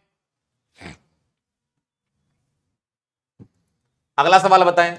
अगर रिंग के बाहर नेगेटिव है, अगर रिंग के बाहर नेगेटिव है तो हमें डोमिनेटिंग इफ़ेक्ट सोचना देखो, रिंग के बाहर वाले कार्बन है ना, रिंग के बाहर वाले कार्बन पर नेगेटिव है तो हमें रेजोनेंस से सोचना है। डोमिनेटिंग इफ़ेक्ट से सोचना है। Dominating effect minus M greater minus I minus I greater plus M और O C S three plus M is greater than minus I तो माइनस एम वाला सबसे ज़्यादा, फिर माइनस आई वाला, फिर न्यूट्रल वाला, फिर प्लस एम वाला।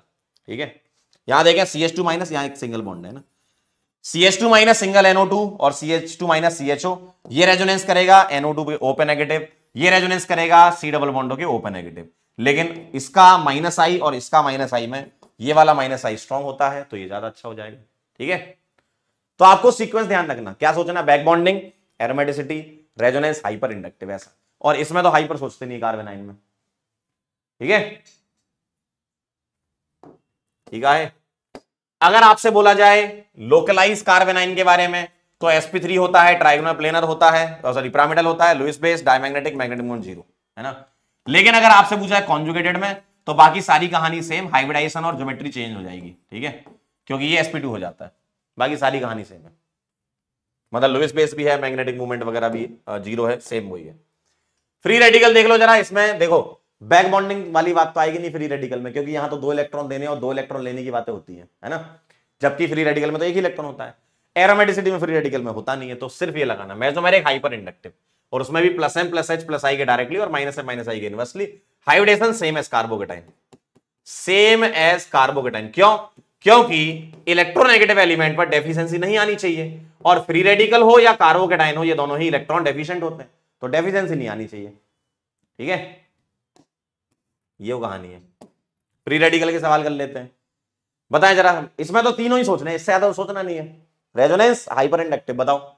मोर रेजोनेंस यहाँ लेस रेजोनेंस यहाँ नो रेजोनेंस लो। बेटा रिंग पर, सुनना बेंजीन की रिंग पर रिंग के ऊपर प्लस चार्ज रेडिकल और माइनस स्टेबल नहीं होते। क्योंकि वो रेजोनेंस करते नहीं है, उसी पर ही है, उसके बाहर होता तो करते, जैसे ऐसा है तो करेगा। रेडिकल रेजोनेंस ऐसा है तो नहीं करेगा। है ना? क्लियर है? चलिए आगे बढ़ते हैं। यहाँ देखें जरा।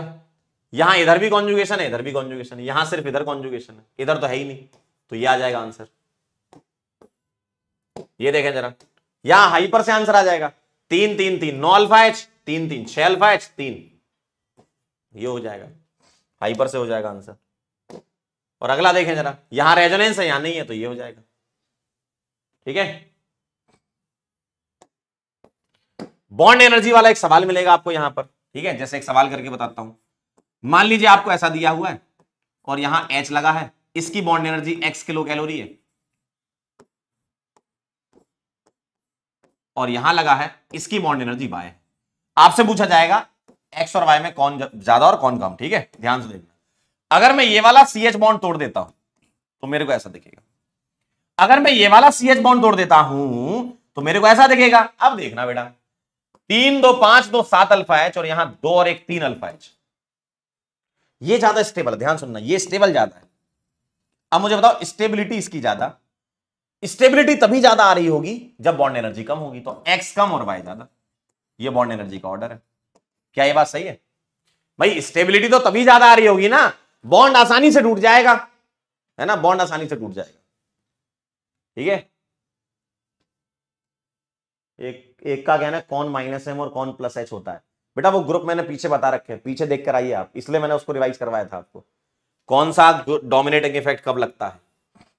कौन सा डोमिनेटिंग इफ़ेक्ट कब लगता है? आइए अब मैं आपको इलेक्ट्रोफाइल हाँ ये इलेक्ट्रोफाइल न्यूक्लियोफाइल को पढ़ा देता हूँ, है ना। इलेक्ट्रोफाइल क्या होता है भाई साहब?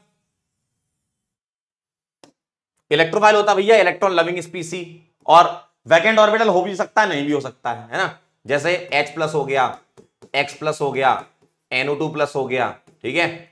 R प्लस हो गया आर सी डबल बॉन्डो प्लस हो गया। इनके पास, सबके पास वैकेंट ऑर्बिटल आपको दिख रहा होगा, है ना? जैसे NO2 प्लस के पास वैकेंट ऑर्बिटल नहीं है, एक काम करता हूँ। इनके पास वैकेंट ऑर्बिटल है ये वाले, ठीक है? इनके पास वैकेंट ऑर्बिटल है B F three B X three ये सब। इन सबके पास वैकेंट ऑर्बिटल है। कुछ ऐसे भी है जिनके पास वैकेंट ऑर्बिटल नहीं है, जैसे सीओ हो गया, ठीक है? ये इलेक्ट्रोफाइल की तरह काम कर सकता है, जब कोई न्यूक्लियोफाइल इलेक्ट्रॉन देने आएगा तो ये ले लेगा पाई बॉन्ड तोड़कर। वैसे ही आपके सामने NO2 प्लस हो गया, ये भी वही काम कर सकता है इसी जैसा, ठीक है? और वैकेंट डी वाला एक ध्यान रखिएगा, बड़ा इंपॉर्टेंट है SO3 ठीक है? इसमें और लुविस एसिड वगैरह भी हो सकते हैं। इलेक्ट्रोफाइल में लुविस एसिड भी आपके सामने मिलेंगे। लुविस एसिड जैसे AlCl3 वगैरह मिल जाए, ठीक है? FeCl3 वगैरह मिल जाए, ये सब, ठीक? जिनके पास वैकेंट ऑर्बिटल होता है। और अगर मैं न्यूक्लियोफाइल के बारे में बात करूँ तो जो लोन पे डोनर होते हैं सॉरी न्यूक्लियोफाइल के बारे में electron rich lone pair donate कर दें या पाई इलेक्ट्रॉन डोनेट कर दें, ठीक है? उनको हम क्या बोलते हैं? न्यूक्लियोफाइल। तो इलेक्ट्रॉन रिच या प्रिसाइज हो सकते हैं और लोन पर हो भी सकता, नहीं भी हो सकता, जैसे H minus X minus O H minus पानी अमोनिया अमीन्स ठीक है? एल्कोहल्स ईटीसी इस टाइप के लोन पेयर डोनर वाले। बिना लोन पेयर वाले कौन से मिलेंगे? पाई इलेक्ट्रॉन्स वाले, जैसे अल्कीन अल्काइन ये भी न्यूक्लियोफाइल होते हैं बेंजीन ये सब न्यूक्लियोफाइल होते हैं। ठीक है? ये मिल सकते हैं। अब हम बात कर लेते हैं कुछ टाइप ऑफ़ रिएक्शंस की, है ना?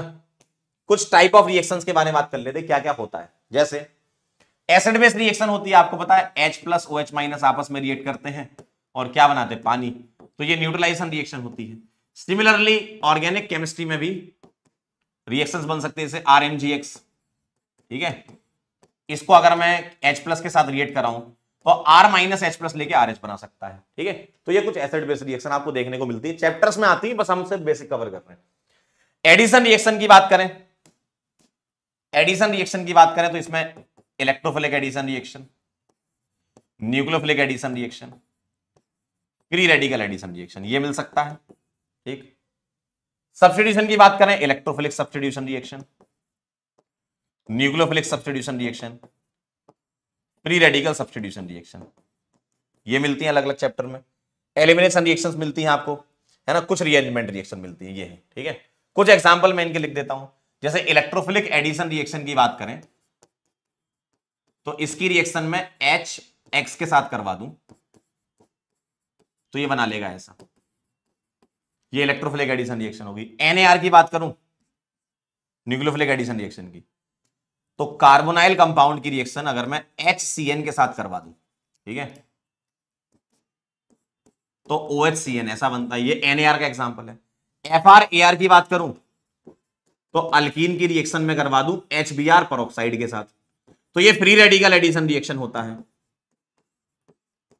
ठीक है? फ्री रेडिकल एडिशन रिएक्शन होता है। इलेक्ट्रोफिलिक सब्सटीट्यूशन की बात करूँ बेंजीन की रिएक्शन इलेक्ट्रोफाइल से करवा दूँ तो ये बन जाएगा। एनएसआर की अगर मैं बात करूँ न्यूक्लियोफिलिक सब्सटीट्यूशन रिएक्शन इसमें एस वन एस टू वगैरह सब पढ़ते हो आप। तो न्यूक्लियोफाइल आकर किसको हटा देता है? हेलोजन को हटा देता है। तो R N U plus X negative F R S R की बात करूँ तो अल्केन की रिएक्शन एक्स टू के साथ होती सनलाइट में। तो ये बनता है R X plus H X elimination की बात करूँ तो अल्काइल हैलाइड होता है, उसकी रिएक्शन बेस के साथ कराते तो अल्कीन्स बनती हैं। ठीक है ये सब हम चैप्टर के अंदर देखेंगे। और बाकी कुछ रीअरेंजमेंट रिएक्शन होती हैं, ठीक है? ये कहानी क्लियर है? ठीक है? अच्छा यहाँ पर इधर बी आर लगेगा। परोक्साइड है ना anti Markovnikov of rules P H C S two C S two P R ठीक है? और एचबीआर में ही परोक्साइड काम करता है। ठीक है चलें तो ये कुछ टाइप ऑफ़ रिएक्शन है, कुछ एग्जांपल मैंने लिख दिए।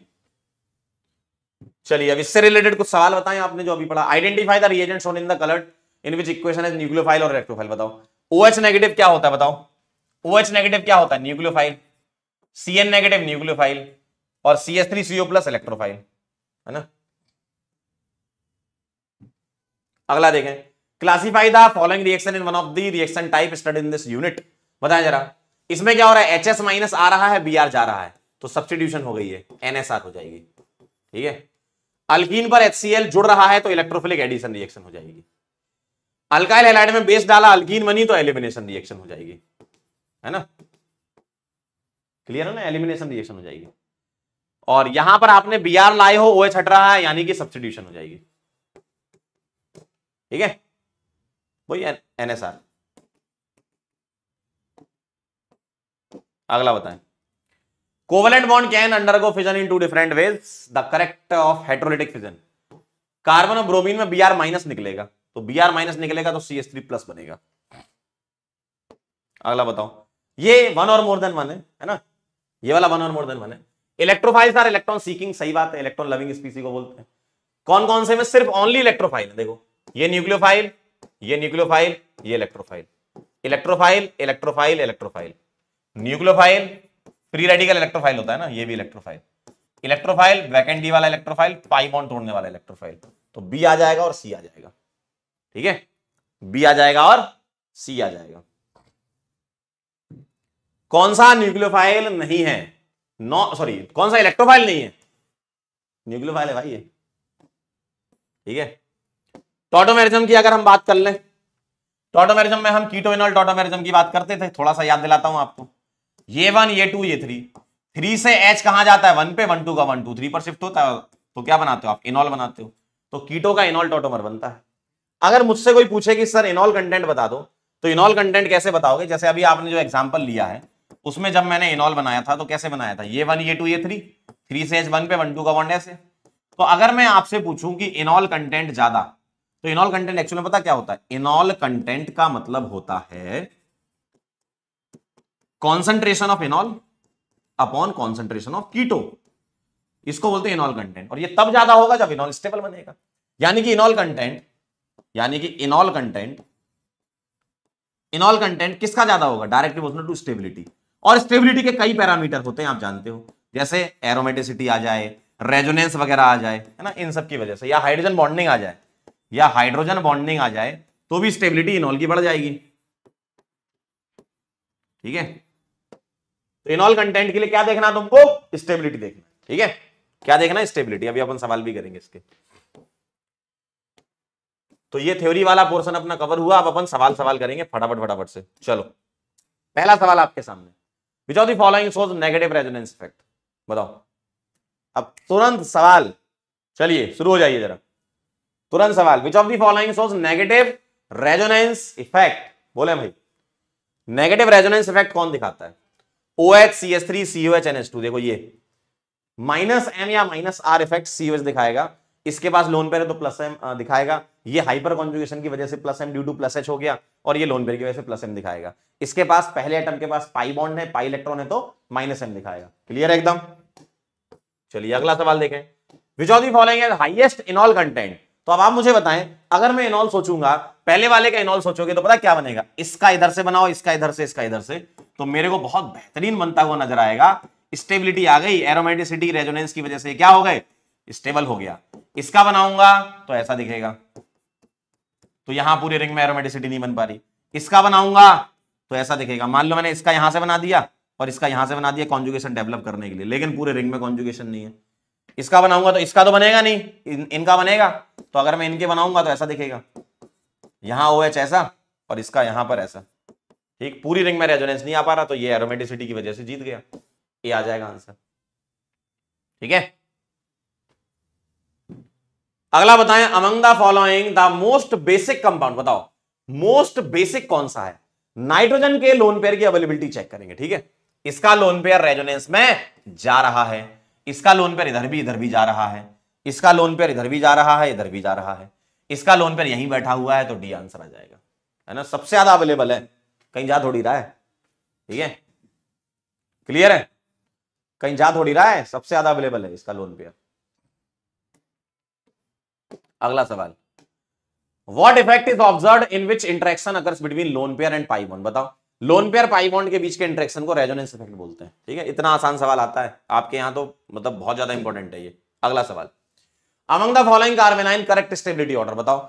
नेगेटिव चार्ज की स्टेबिलिटी हाइब्रिडाइजेशन से होगा ये देखो। क्योंकि ट्रिपल पर नेगेटिव है सिंगल पर नेगेटिव है डबल पर नेगेटिव है। इलेक्ट्रोनेगेटिव एलिमेंट पर नेगेटिव चार्ज स्टेबल होता है यानी कि ए सबसे ज़्यादा हो जाएगा क्योंकि ट्रिपल पर है। फिर डबल वाला सी आ जाएगा। अब देखो ये सिंगल पर है ये सिंगल पर है ये अब, अब किससे होगा? इंडक्टिव से होगा। नेगेटिव में हाइपर तो लगता नहीं ना। तो अब देखो यहाँ पर मोर प्लस आई है। तीन तीन सी एस थ्री लगे और यहाँ लेस प्लस आई है। और प्लस आई जितना कम कार्बन आइन के लिए उतना अच्छा। तो ए सी डी बी आ जाएगा। ए सी डी बी ए आ जाएगा आंसर चेक करो जरा। ठीक है? चेक करो जरा। बोलो भाई, क्या ये बात एकदम क्लियर है? नेगेटिव चार्ज की स्टेबिलिटी कैसे चेक करोगे? ट्रिपल बॉन्ड पे नेगेटिव ज़्यादा स्टेबल फिर डबल पे, फिर सिंगल पे। अब सिंगल वालों में क्या करोगे? रेजोनेंस तो है नहीं हाइपर होता नहीं है कार्बेनाइन में इंडक्टिव सी करोगे ना मालिक। ठीक है? चलिए अगला सवाल। पीके वैल्यू मैच करानी है, ठीक है? वैल्यू याद थोड़ी होनी चाहिए अपन तो इसका ऑर्डर सेट करेंगे। फिनॉल है एक इथेनॉल है दूसरा, एक पैरानाइट्रो और एक मेटानाइट्रो सही है? हाँ पैरानाइट्रोफिनॉल है एक और एक मेटानाइट्रोफिनॉल है। ठीक है? तो पॉम पॉम वाला तो याद आएगा, पैरा सबसे ज़्यादा आ जाएगा। मैं पहले एसिडिक स्ट्रेंथ लिख रहा हूँ, है ना? एसिडिक स्ट्रेंथ अरेंज कर रहा हूँ। तो सबसे ज़्यादा एसिडिक कौन सा हो जाएगा? पैरानाइट्रो तीन वाला सबसे ज़्यादा एसिडिक हो जाएगा। ठीक है? उसके बाद मेटा वाला, यानी कि चार वाला। उसके बाद फिनॉल आएगा और लास्ट में इथेनॉल आएगा। तीन, चार, एक, दो, ये एसिडिक स्ट्रेंथ का ऑर्डर है, यानी कि के वैल्यू का है। तो पीके वैल्यू क्या हो जाएगी इसका उल्टा? पीके वैल्यू का ऑर्डर पलट दूँगा मैं। सही है? तो ये है पीके वैल्यू का ऑर्डर तो सेकंड वाले की पी के वैल्यू सबसे ज़्यादा आएगी तो सेकंड वाले का आ जाएगा पी सेकंड वाले का आ जाएगा पी ठीक है? फिर उससे कम फ़र्स्ट वाले की आएगी। तो फ़र्स्ट वाले का आ जाएगा क्यू फ़र्स्ट वाले का आ जाएगा क्यू अच्छा ये पी और क्यू तो ये सीखे फिर उसके बाद आएगी फोर्थ वाले की। फोर्थ वाले का आ जाएगा आर फोर्थ वाले का आ जाएगा आर आगरा। आगरा आ रहा है? ठीक है? बेटा हेट्रोलिटिक प्रज्ञा जी हेट्रोलिटिक में रेडिकल नहीं बनता, ठीक है? क्लियर है एकदम? डन अगला। Which of the following compound is most stable बताओ। सबसे ज़्यादा स्टेबल कौन है? तीन की रिंग में प्लस एरोमेटिक है। ये नॉन एरोमेटिक है है ना? ये एंटी एरोमेटिक है। चार की रिंग में नेगेटिव एंटी एरोमेटिक है। बी आ जाएगा आंसर एरोमेटिक ठीक है?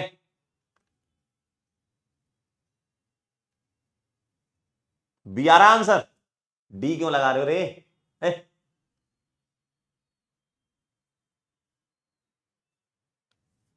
देखो देखो देखो, पागल हो गए। अगला सवाल। Find out the correct order of stability of carbocation बताओ, किससे होगा ये? अल्फ़ा एच से हो जाएगा। इसके नौ अल्फ़ा एच आएँगे, तीन मिथाइल लगे हैं। इसके छह अल्फ़ा एच आएँगे इसके तीन आएँगे, इसके ज़ीरो आएँगे। वाह यार one two three four one two three four answer Badlapur ठीक है? क्लियर है एकदम? अगला देखेंगे। स्टेटमेंट बेस्ड है पीके ऑफ़ फिनॉल इज़ दस और P K of ethyl alcohol is this ethyl alcohol is more acidic than this बताओ। पीके फिनॉल का दस है और इथाइल एल्कोहल का पंद्रह पॉइंट छह है, यानी कि फिनॉल की एसिडिक स्ट्रेंथ इथाइल एल्कोहल से ज़्यादा होगी, सही बात है है ना? फिनॉल की एसिडिक स्ट्रेंथ इथाइल एल्कोहल से ज़्यादा होगी, ये एकदम सही बात है। यानी कि पीके वैल्यू कम होने वाली है, सही है। तो ये के वैल्यू है तो पीके क्या हो जाएगा? फिनॉल का कम और इथाइल एल्कोहल का ज़्यादा, यानी कि स्टेटमेंट वन सही है। दूसरा, ethyl alcohol is more acidic than phenol गलत। तो one is correct second is incorrect C आएगा आंसर ठीक है? सी आएगा आंसर सही है? अगला सवाल कर लियो species having carbon with sextet of balance electron and act as electrophile is मतलब छह इलेक्ट्रॉन होना चाहिए। है ना? छह इलेक्ट्रॉन किसके पास होते हैं? हम्म हम्म हम्म छह इलेक्ट्रॉन किसके पास होते हैं?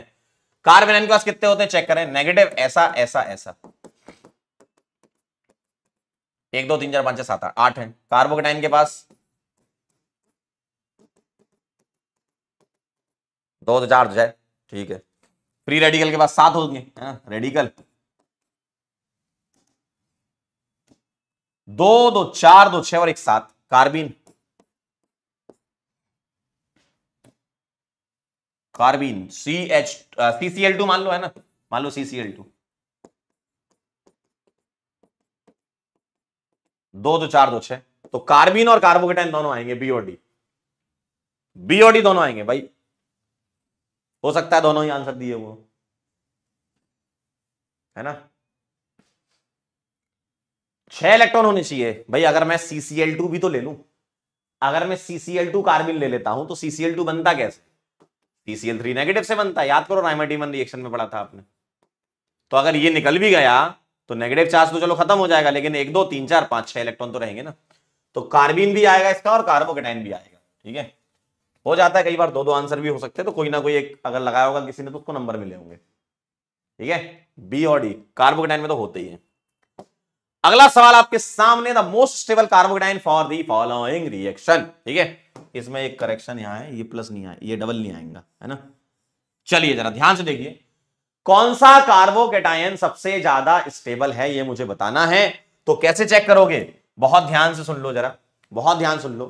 कार्बोकेटाइन की स्टेबिलिटी के लिए आप सबसे पहले क्या देखेंगे? रेजोनेंस देख लो, बैक बॉन्डिंग वगैरह देख लो। कैसे? अगर कभी आपको डायरेक्ट बैक बॉन्डिंग नहीं दिख रही है तो ये चेक करो, क्या रेजोनेंस कराने के बाद बैक बॉन्डिंग आ सकती है क्या? है ना? तो वो भी अलाउड होती है। जैसे यहाँ सीधे बैक बॉन्डिंग नहीं है, लेकिन अगर मैं प्लस चार्ज का रेजोनेंस सोचू तो यहाँ प्लस आएगा। इसको सोचू यहाँ प्लस आएगा। क्या ये बैक बॉन्डिंग करेंगे? नहीं करेंगे, ठीक है। अगर मैं यहाँ सोचू, यहाँ प्लस आएगा, यहाँ सोचू, यहाँ प्लस आएगा तो ये इसके साथ बैक बॉन्डिंग नहीं करेंगे।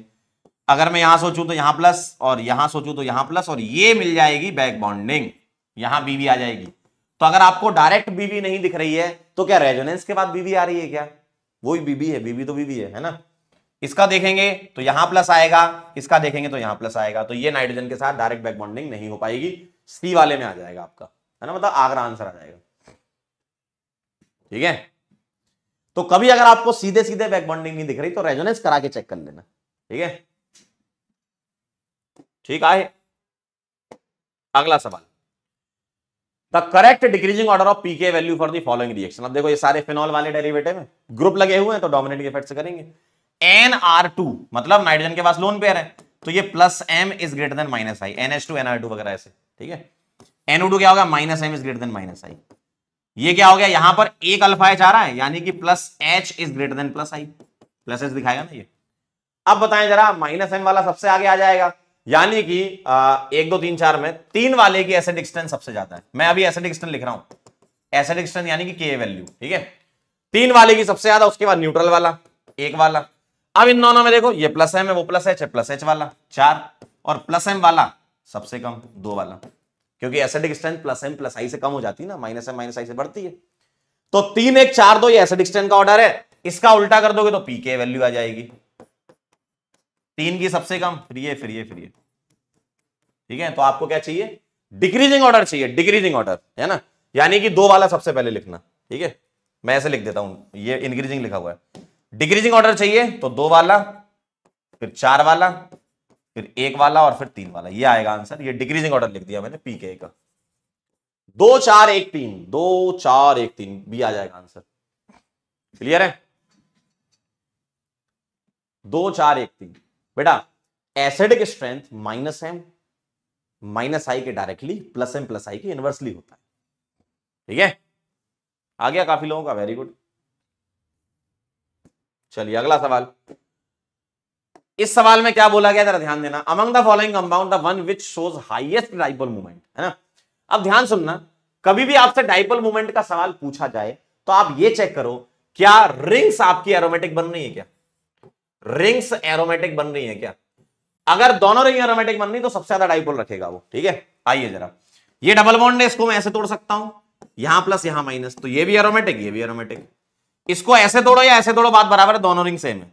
यहाँ प्लस यहाँ माइनस ये एंटी एरोमेटिक और ये एरोमेटिक ठीक है? यहाँ एक ही रिंग है, इसको तोड़ा, ये माइनस ये प्लस एक ही रिंग एरोमेटिक है। यहाँ अगर मैं ऐसे तोड़ू, चाहे ऐसे तोड़ू, यहाँ प्लस यहाँ माइनस तो दोनों ही नॉन एरोमेटिक तो बताओ जरा, दोनों रिंग एरोमेटिक बन रही यानी कि मज़ा आ गया ना? दोनों रिंग एरोमेटिक बन रही भाई। दोनों रिंग एरोमेटिक बन रही है डी क्यों लगा रहे हो रे? पागल हो गए हो क्या? अगर रिंग दोनों एरोमेटिक तो जल्दी टूटेगा ना बॉन्ड बॉन्ड जल्दी टूटेगा, और बॉन्ड जल्दी टूटना मतलब पोलरिटी क्रिएट करना, यानी कि डायपोल बनना ठीक है? अगला सवाल, ट्रोपोलॉन के बारे में पूछा ट्रोपोलॉन होता है ऐसा। सात की रिंग होती है। ऐसा ऐसा ऐसा। ये डबल बॉन्ड और यहाँ आता है वो एच ये है ट्रोपोलॉन। कह रहे हैं, tropolone is an aromatic compound has eight pi electron check कर लेते हैं। चेक कर लेते हैं। क्या आठ पाई इलेक्ट्रॉन है? अगर मैं इसमें चेक करूँ तो कैसे चेक करूँगा? ध्यान से देखो जरा। ध्यान से देखो जरा। ये कह रहे हैं कि एरोमेटिक है एंड हैज़ आठ pi electron tropolone is an aromatic compound bond तोड़ लेते हैं। अगर मैंने इसको तोड़ा, यहाँ माइनस आएगा, यहाँ प्लस आएगा। ठीक है? यहाँ प्लस आएगा। तो प्लस सिंगल डबल ये रिंग में घूम रहा है। छह पाई इलेक्ट्रॉन घूम रहे हैं। ठीक है? छह पाई इलेक्ट्रॉन घूम रहे हैं।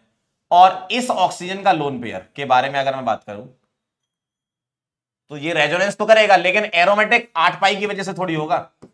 छह पाई इलेक्ट्रॉन की वजह से एरोमेटिक होगा। ऑक्सीजन का लोन पेयर देखो, इस वाले का लोन पेयर तो रेजोनेंस में रिंग में तो नहीं जाएगा, इसका रिंग में जाएगा, लेकिन छह इलेक्ट्रॉन की वजह से एरोमेटिक होगा, ठीक है? छह इलेक्ट्रॉन की वजह से ये एरोमेटिक होने वाला है क्लियर है बात? ठीक है। और अब इनका कहना है कि भाई ट्रोपोलन एरोमेटिक है, बिल्कुल सही है। एंड हैज़ आठ पाई इलेक्ट्रॉन तो ये लोन पेयर रेजोनेंस में जाएँगे तो आठ पाई इलेक्ट्रॉन तो रखेंगे, लेकिन एरोमेटिक छह की वजह से तो स्टेटमेंट वन तो करेक्ट है।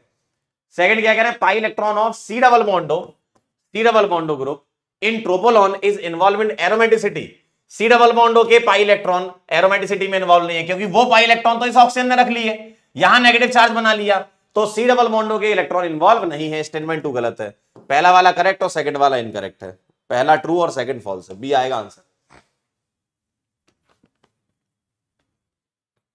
सी नहीं आएगा। सी वाले में तो ये कह रहे हैं कि स्टेटमेंट वन फॉल्स है और सेकंड स्टेटमेंट ट्रू है।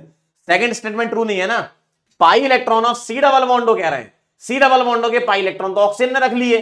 In tropolone is involve in aromaticity नहीं ना सेकंड स्टेटमेंट गलत है। बी वाला सही आएगा। देखो, ये वाला क्या लिखा है? Tropolone is an aromatic compound फिर एंड लगाया।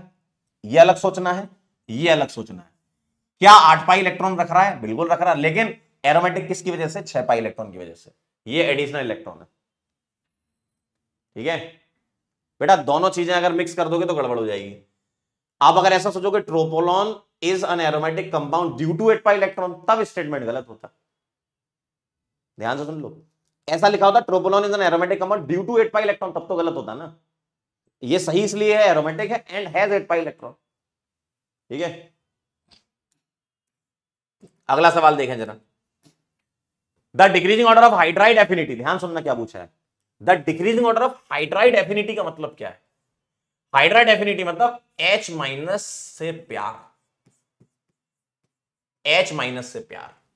हाइड्राइड एफिनिटी सबसे ज़्यादा किसकी होगी? जिसको ज़रूरत होगी। एच माइनस से प्यार यानी कि जो सबसे कम स्टेबल होगा ना, उसको एच माइनस तुरंत चाहिए न्यूट्रल होने के लिए।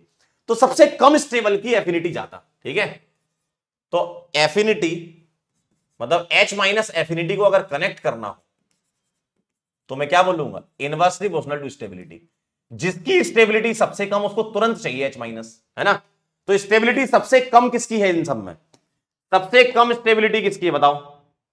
सबसे कम स्टेबिलिटी किसकी? देखो, यहाँ पर एक रेजोनेंस के साथ छह अल्फाइच आ रहे हैं, यहाँ नौ अल्फाइच आ रहे हैं, यहाँ तीन तीन का रेजोनेंस यहाँ डांसिंग रेजोनेंस तो सबसे ज़्यादा स्टेबिलिटी का ऑर्डर सेट कर रहा हूँ। स्टेबिलिटी का ऑर्डर सेट कर रहा हूँ। डी की सबसे ज़्यादा आएगी स्टेबिलिटी, फिर बी की आएगी, फिर ए की आएगी और सी सबसे लास्ट में आएगा, ठीक है? और अगर ये स्टेबिलिटी का ऑर्डर है तो एफिनिटी इसका उल्टा हो जाएगा। एफिनिटी का ऑर्डर आ जाएगा, ठीक है? डिक्रीजिंग ऑर्डर चाहिए तो सी सबसे ज़्यादा, फिर ए, फिर बी और फिर D. C, A, B, D. C, A, B, D, C, A, B, D. ये आ जाएगा बदलापुर आंसर, ठीक है? बदलापुर आंसर आ जाएगा। ये ध्यान रखना अगर आप ये सोचने लगो कि सर एक रिंग के रेजोनेंस से, सुनना ध्यान से, सर एक रिंग के रेजोनेंस से तो ये ज़्यादा होता है। एक रिंग के रेजोनेंस से तो ये ज़्यादा होता है, बिल्कुल सही बात है। लेकिन यहाँ एक रेजोनेंस के साथ मतलब भले एक रेजोनेंस और रिंग का ना भी हो तो भी छह अल्फाए चाह रहे हैं छह अल्फाए चाह रहे हैं मतलब तीन ये तीन ये, ठीक है? तीन ये तीन ये। और तीन अल्फ़ा एच एक रेजोनेंस से तो पीछे रहेंगे। अगर आप इनको ध्यान से देखो, ये कॉमन है, ये कॉमन है। अब यहाँ तीन अल्फ़ा एच ही बचा, एक फैक्टर, और यहाँ एक रेजोनेंस है तो ये तो डोमिनेट करेगा ना इससे। अगर मैं आपसे पूछूँ, बताओ, ये ज़्यादा स्टेबल है या ये ज़्यादा स्टेबल है? तो यही बोलोगे ना आप? यही बोलोगे ना आप? ठीक है? यो कहानी है। और यहाँ तो तीन तीन रिंग लगी हुई है। चलिए, आगे बढ़ते हैं, अगला सवाल। Which of the following undergo deprotonation most readily ठीक है? डी प्रोटोनेशन मोस्ट रीडली ठीक ध्यान से देखो जरा। डी प्रोटोनेशन क्या कह रहे हैं आपसे? डी प्रोटोनेशन मोस्ट रीडली यानी कि बेसिक मीडियम में करवाना है बेस ले आओ, निकालो जरा H plus base H plus यहाँ से निकालेगा तो इसका एनाइन बनेगा ये। ठीक है? यहाँ से एच प्लस निकलेगा तो इसका एनाइन बनेगा ये।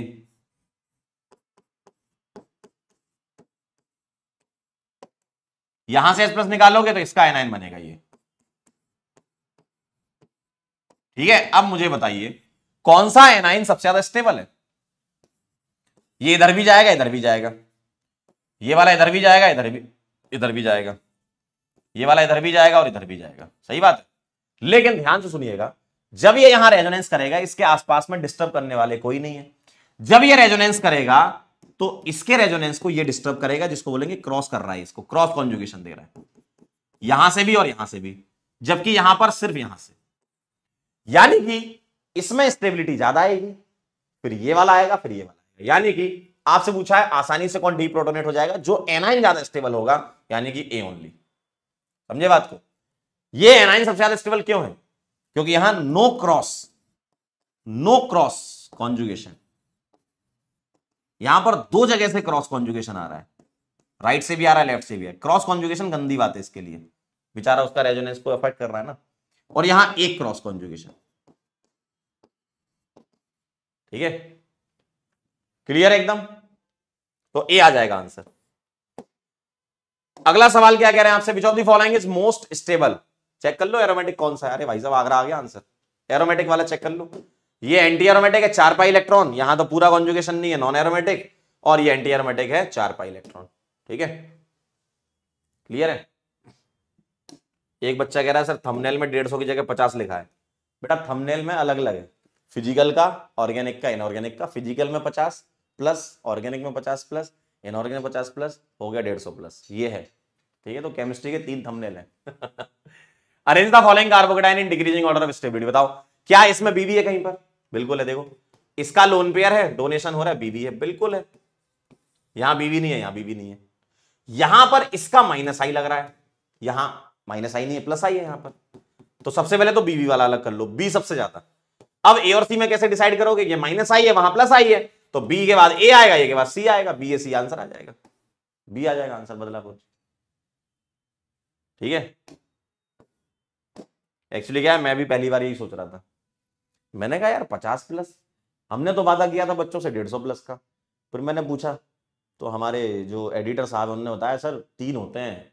मैंने कहा अच्छा फ़िज़िकल ऑर्गेनिक और इनऑर्गेनिक चलिए among the given species the resonance stabilize carbocation बताओ, कहाँ पर रेजोनेंस हो रहा है? ये चेक करना है। क्या बात ये चेक करना है क्या? Plus single double resonance plus single double resonance no resonance और डबल बॉन्ड भी प्लस तो आइयोन स्टेबल है।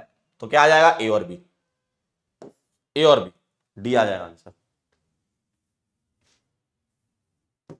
which of the following molecule is least resonance stabilize बताओ। क्या इसमें रेजोनेंस है और रेजोनेंस की वजह से एरोमेटिसिटी आ रही है? बिल्कुल आ रही है। एरोमेटिसिटी आ रही है। ये भी एरोमेटिक कंपाउंड है, ठीक?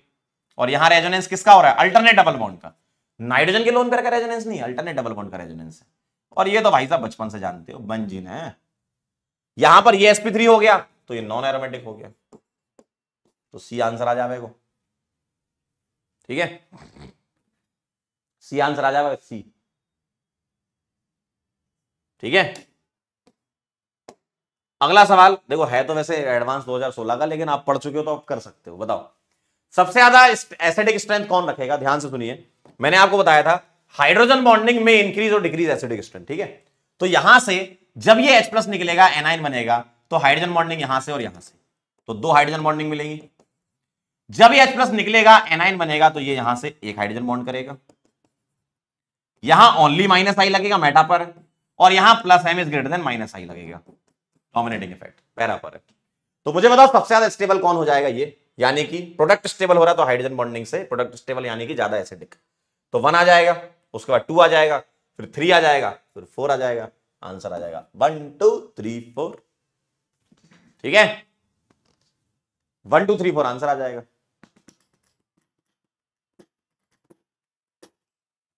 डनशे अगला सवाल among the following compound the increasing order of the basic strength बताओ सबसे अच्छा बेस कौन सा होगा इनमें से? नाइट्रोजन के लोन पेयर के लिए चेक करेंगे। इसका लोन पेयर रेजोनेंस में जा रहा है, बिल्कुल जा रहा है। इसका लोन पेयर जा रहा है, बिल्कुल जा रहा है। इसका जा रहा है, नहीं जा रहा। इसका जा रहा, नहीं जा रहा। तो ये लोकलाइज हो गए। ये लोकलाइज हो गया। ये डीलोकलाइज हो गया। और ये डीलोकलाइज हो गया। ठीक है? अब लोकलाइज लोकलाइज वालों में देखो, यहाँ प्लस आई ज़्यादा लगा थ्री डिग्री है, ये वन डिग्री है। प्लस आई ज़्यादा लगा ना तो तीन सबसे ज़्यादा। उसके बाद चार, तीन सबसे ज़्यादा। उसके बाद चार। अब एक और दो में देख लो। ध्यान सुनना। इसके लोन पेयर का रेजोनेंस में जाना बहुत ज़रूरी है। क्यों? लोन पेयर जाकर एरोमेटिसिटी क्रिएट कर रहा है, बहुत ज़रूरी है। इसके लोन पेयर का रेजोनेंस में जाना ज़रूरी तो है, लेकिन उसके बिना ही ये क्या है? एरोमेटिक है। उसके बिना ही एरोमेटिक है। यानी कि यहाँ पर बहुत नीड है। इसको जाना होगा। एरोमेटिक बनाने जाना होगा। यानी कि ये थोड़ा सा लेस अवेलेबल होगा। लेस अवेलेबल होगा। कंपेरिजन टू इस वाले से ये लिटिल मोर अवेलेबल है। है ना? थोड़ा मोर अवेलेबल है। इसको तो जाना ही होगा।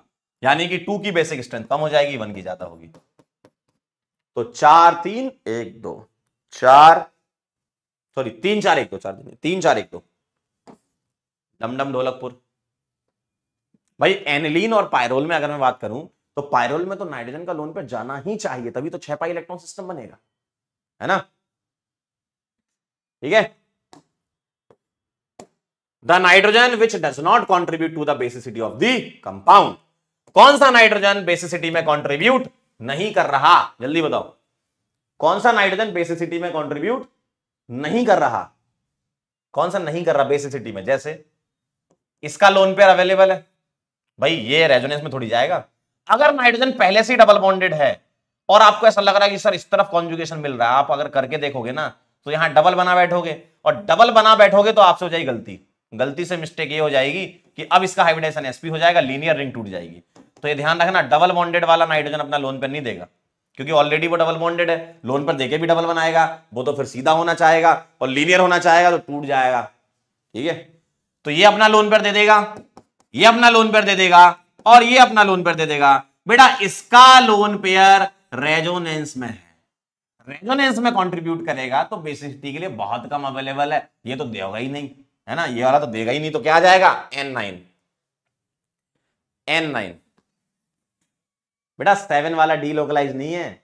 जितने भी नाइट्रोजन डबल बॉन्डेड वाले हैं, वो कोई भी डीलोकलाइज नहीं होते। यहाँ देखो, ये नाइट्रोजन अपना लोन पर दे रहा है, यहाँ सिंगल और यहाँ सिंगल था। ठीक है?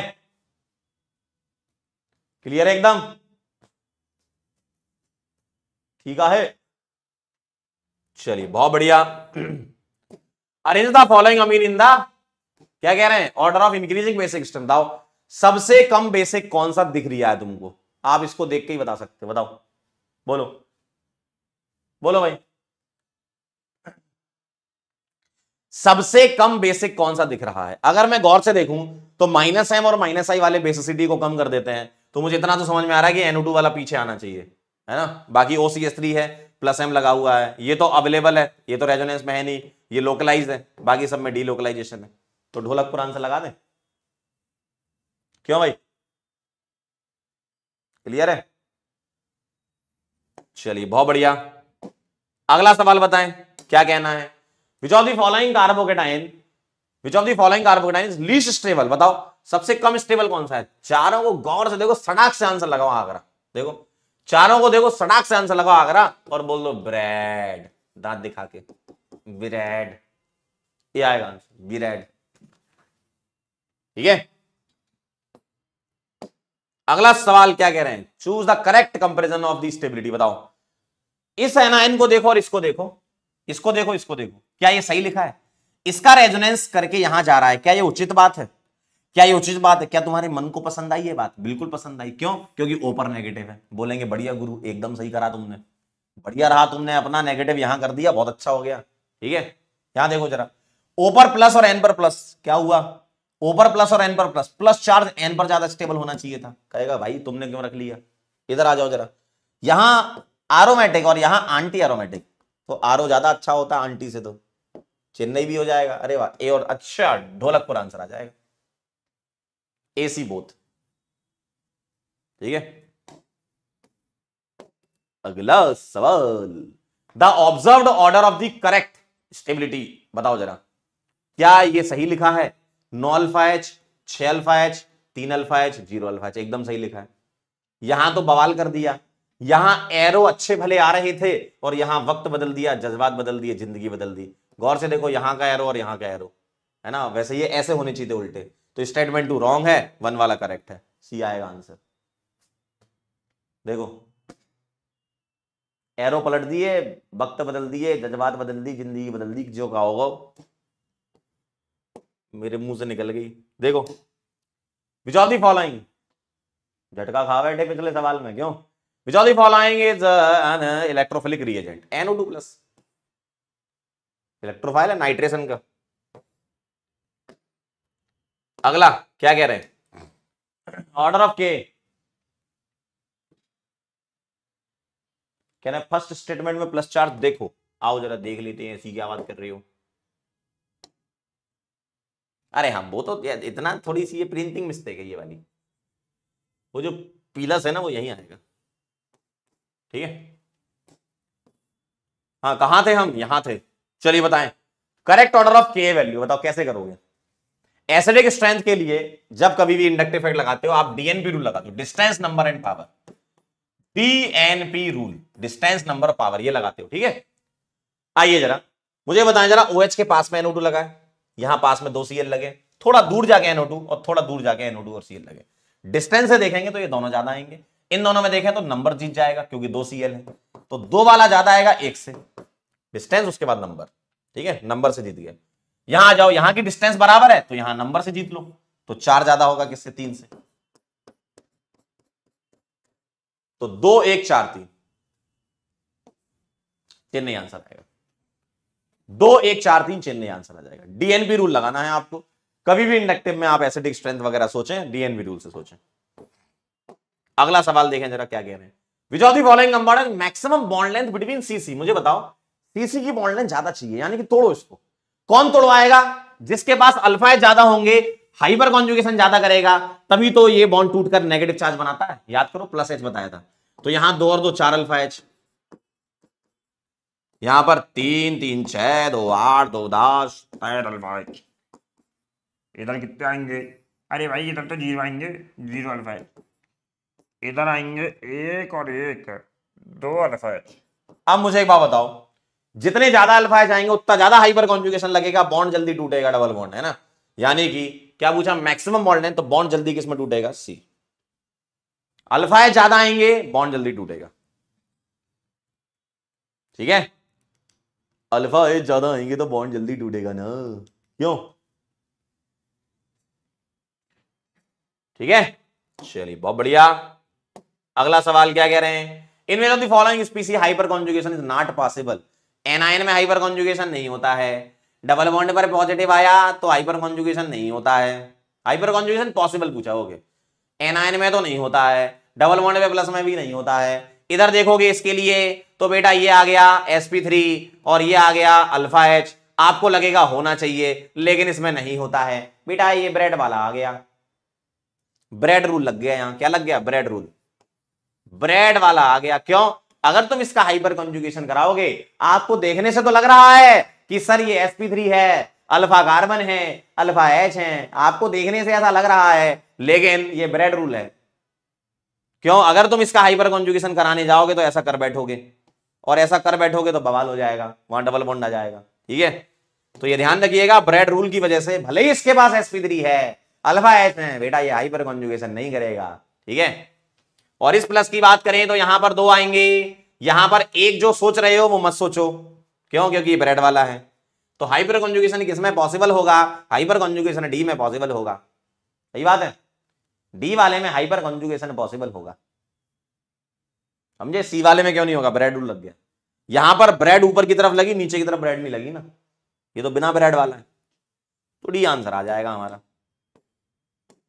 चलिए, अगला सवाल बताएँ। Number of compound which are soluble in NaOH and NaCO3 both दोनों में सॉल्युबल होना चाहिए। दोनों में होना चाहिए। तो पहले ये चेक कर लो, पानी से ज़्यादा एसिडिक कौन कौन है? क्योंकि NaOH में तो पानी बनेगा ना। पानी से ज़्यादा एसिडिक कौन कौन है? सारे के सारे। ठीक है। NaOH से ज़्यादा एसिडिक मतलब H2CO3 से ज़्यादा एसिडिक कौन है? ये है। बेंजोइक एसिड है। पैरानाइट्रो है। ये नहीं है। ठीक? तो नंबर ऑफ़ कंपाउंड जो सॉल्युबल है मतलब इंटीजर में आया होगा ये। तो ए बी और सी तीन है। क्योंकि फिनॉल NaCO3 में इनसॉल्युबल होता है। ठीक है? तो Na number of compound which are soluble in NaOH and NaCO3 both दोनों में चाहिए थे। ठीक है? तो ये वाला दोनों के साथ करेगा, ये देखो, पानी के साथ तो सभी करेंगे, लेकिन NaCO3 के साथ ये तीनों करेंगे। डी नहीं करेगा। ठीक है? ठीक है अगला सवाल। The correct acidic strength of the following बताएँ जरा ए बी सी डी में से आंसर पहली बात तो ये। ये वाली बात कह रहा हूँ ना, वो जो सोच रहे हो वो नहीं। वन और टू वाले कम एसिडिक होंगे, तीन और चार वाले ज़्यादा एसिडिक होंगे, है ना? तो ये देखो और ये देखो। देख लिया, मुस्कुराइए। अरे मुस्कुराइए जी।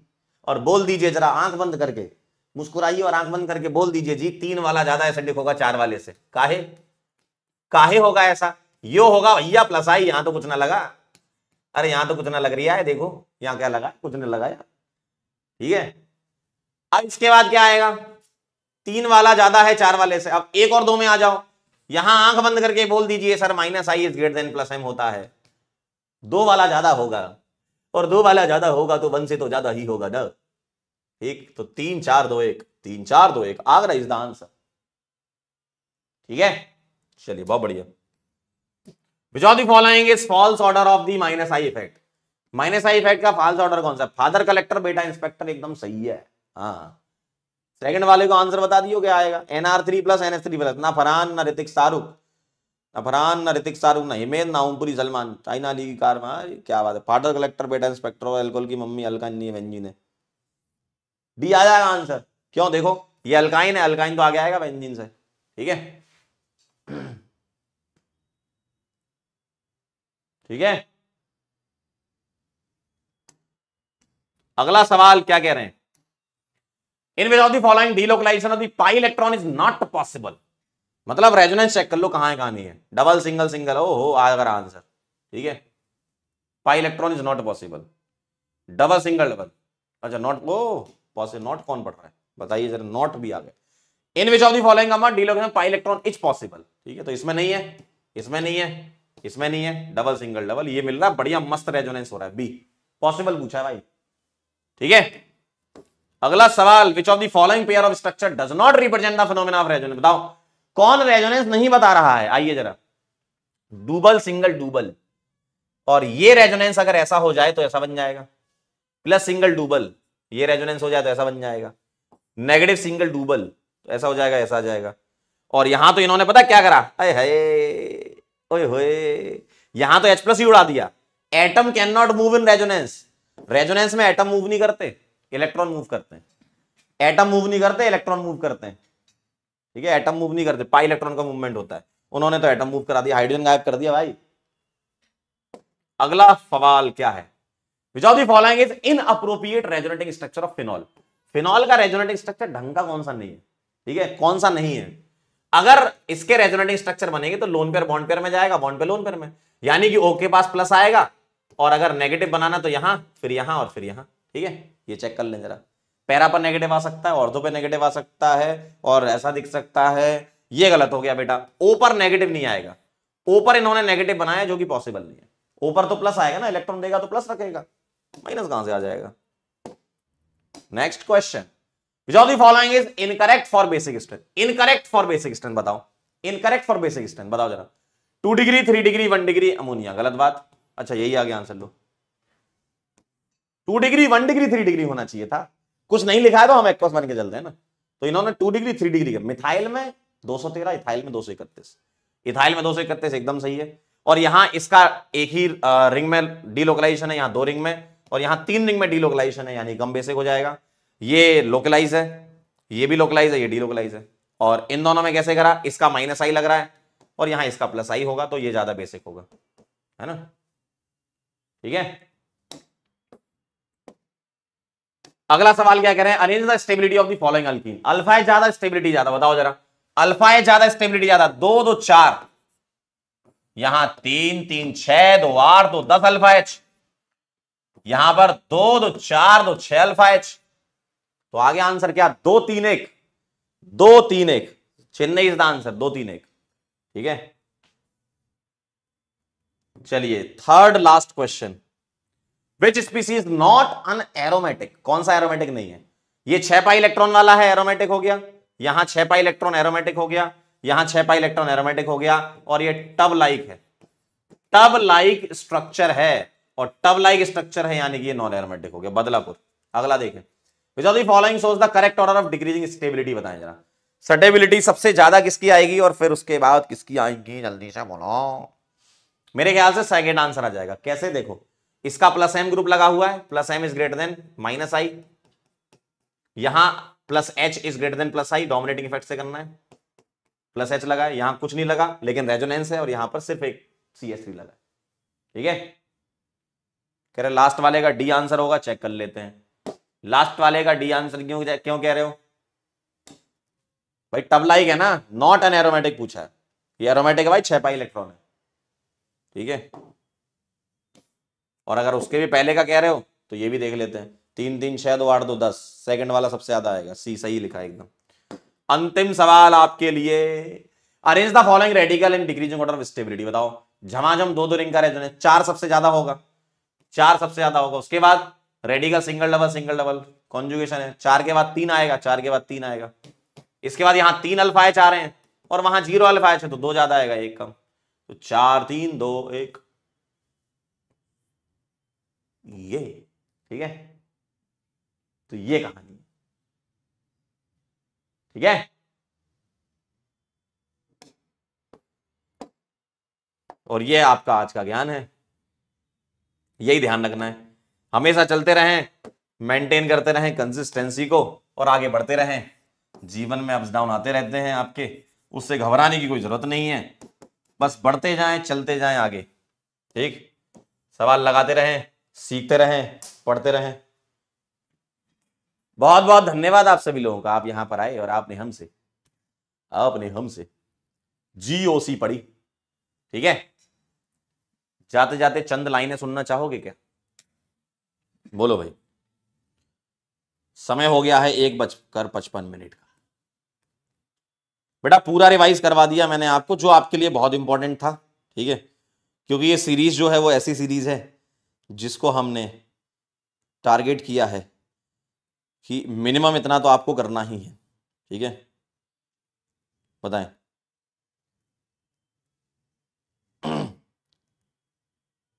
हम्म। तो जाते जाते दो लाइनें आपके लिए कुछ ऐसी हैं कि मेहनत की भट्टी में जो तपकर जलते हैं। मेहनत की भट्टी में जो तपकर जलते हैं, दुनिया में उन्हीं के सिक्के चलते हैं। ठीक है? तो बस ये बात ध्यान रखें, मेहनत करते रहें लगातार। धम धमाधम दम ठीक है? दो लाइनें बोली थी, दो तो सुना दी भाई। कह रहे सर दो लाइनें। दो सुना दी भैया अपन ने। कैसी बातें कह रही वो हम्म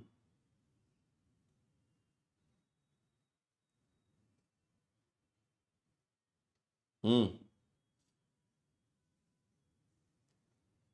और कुछ ऐसी दिख नहीं रही है।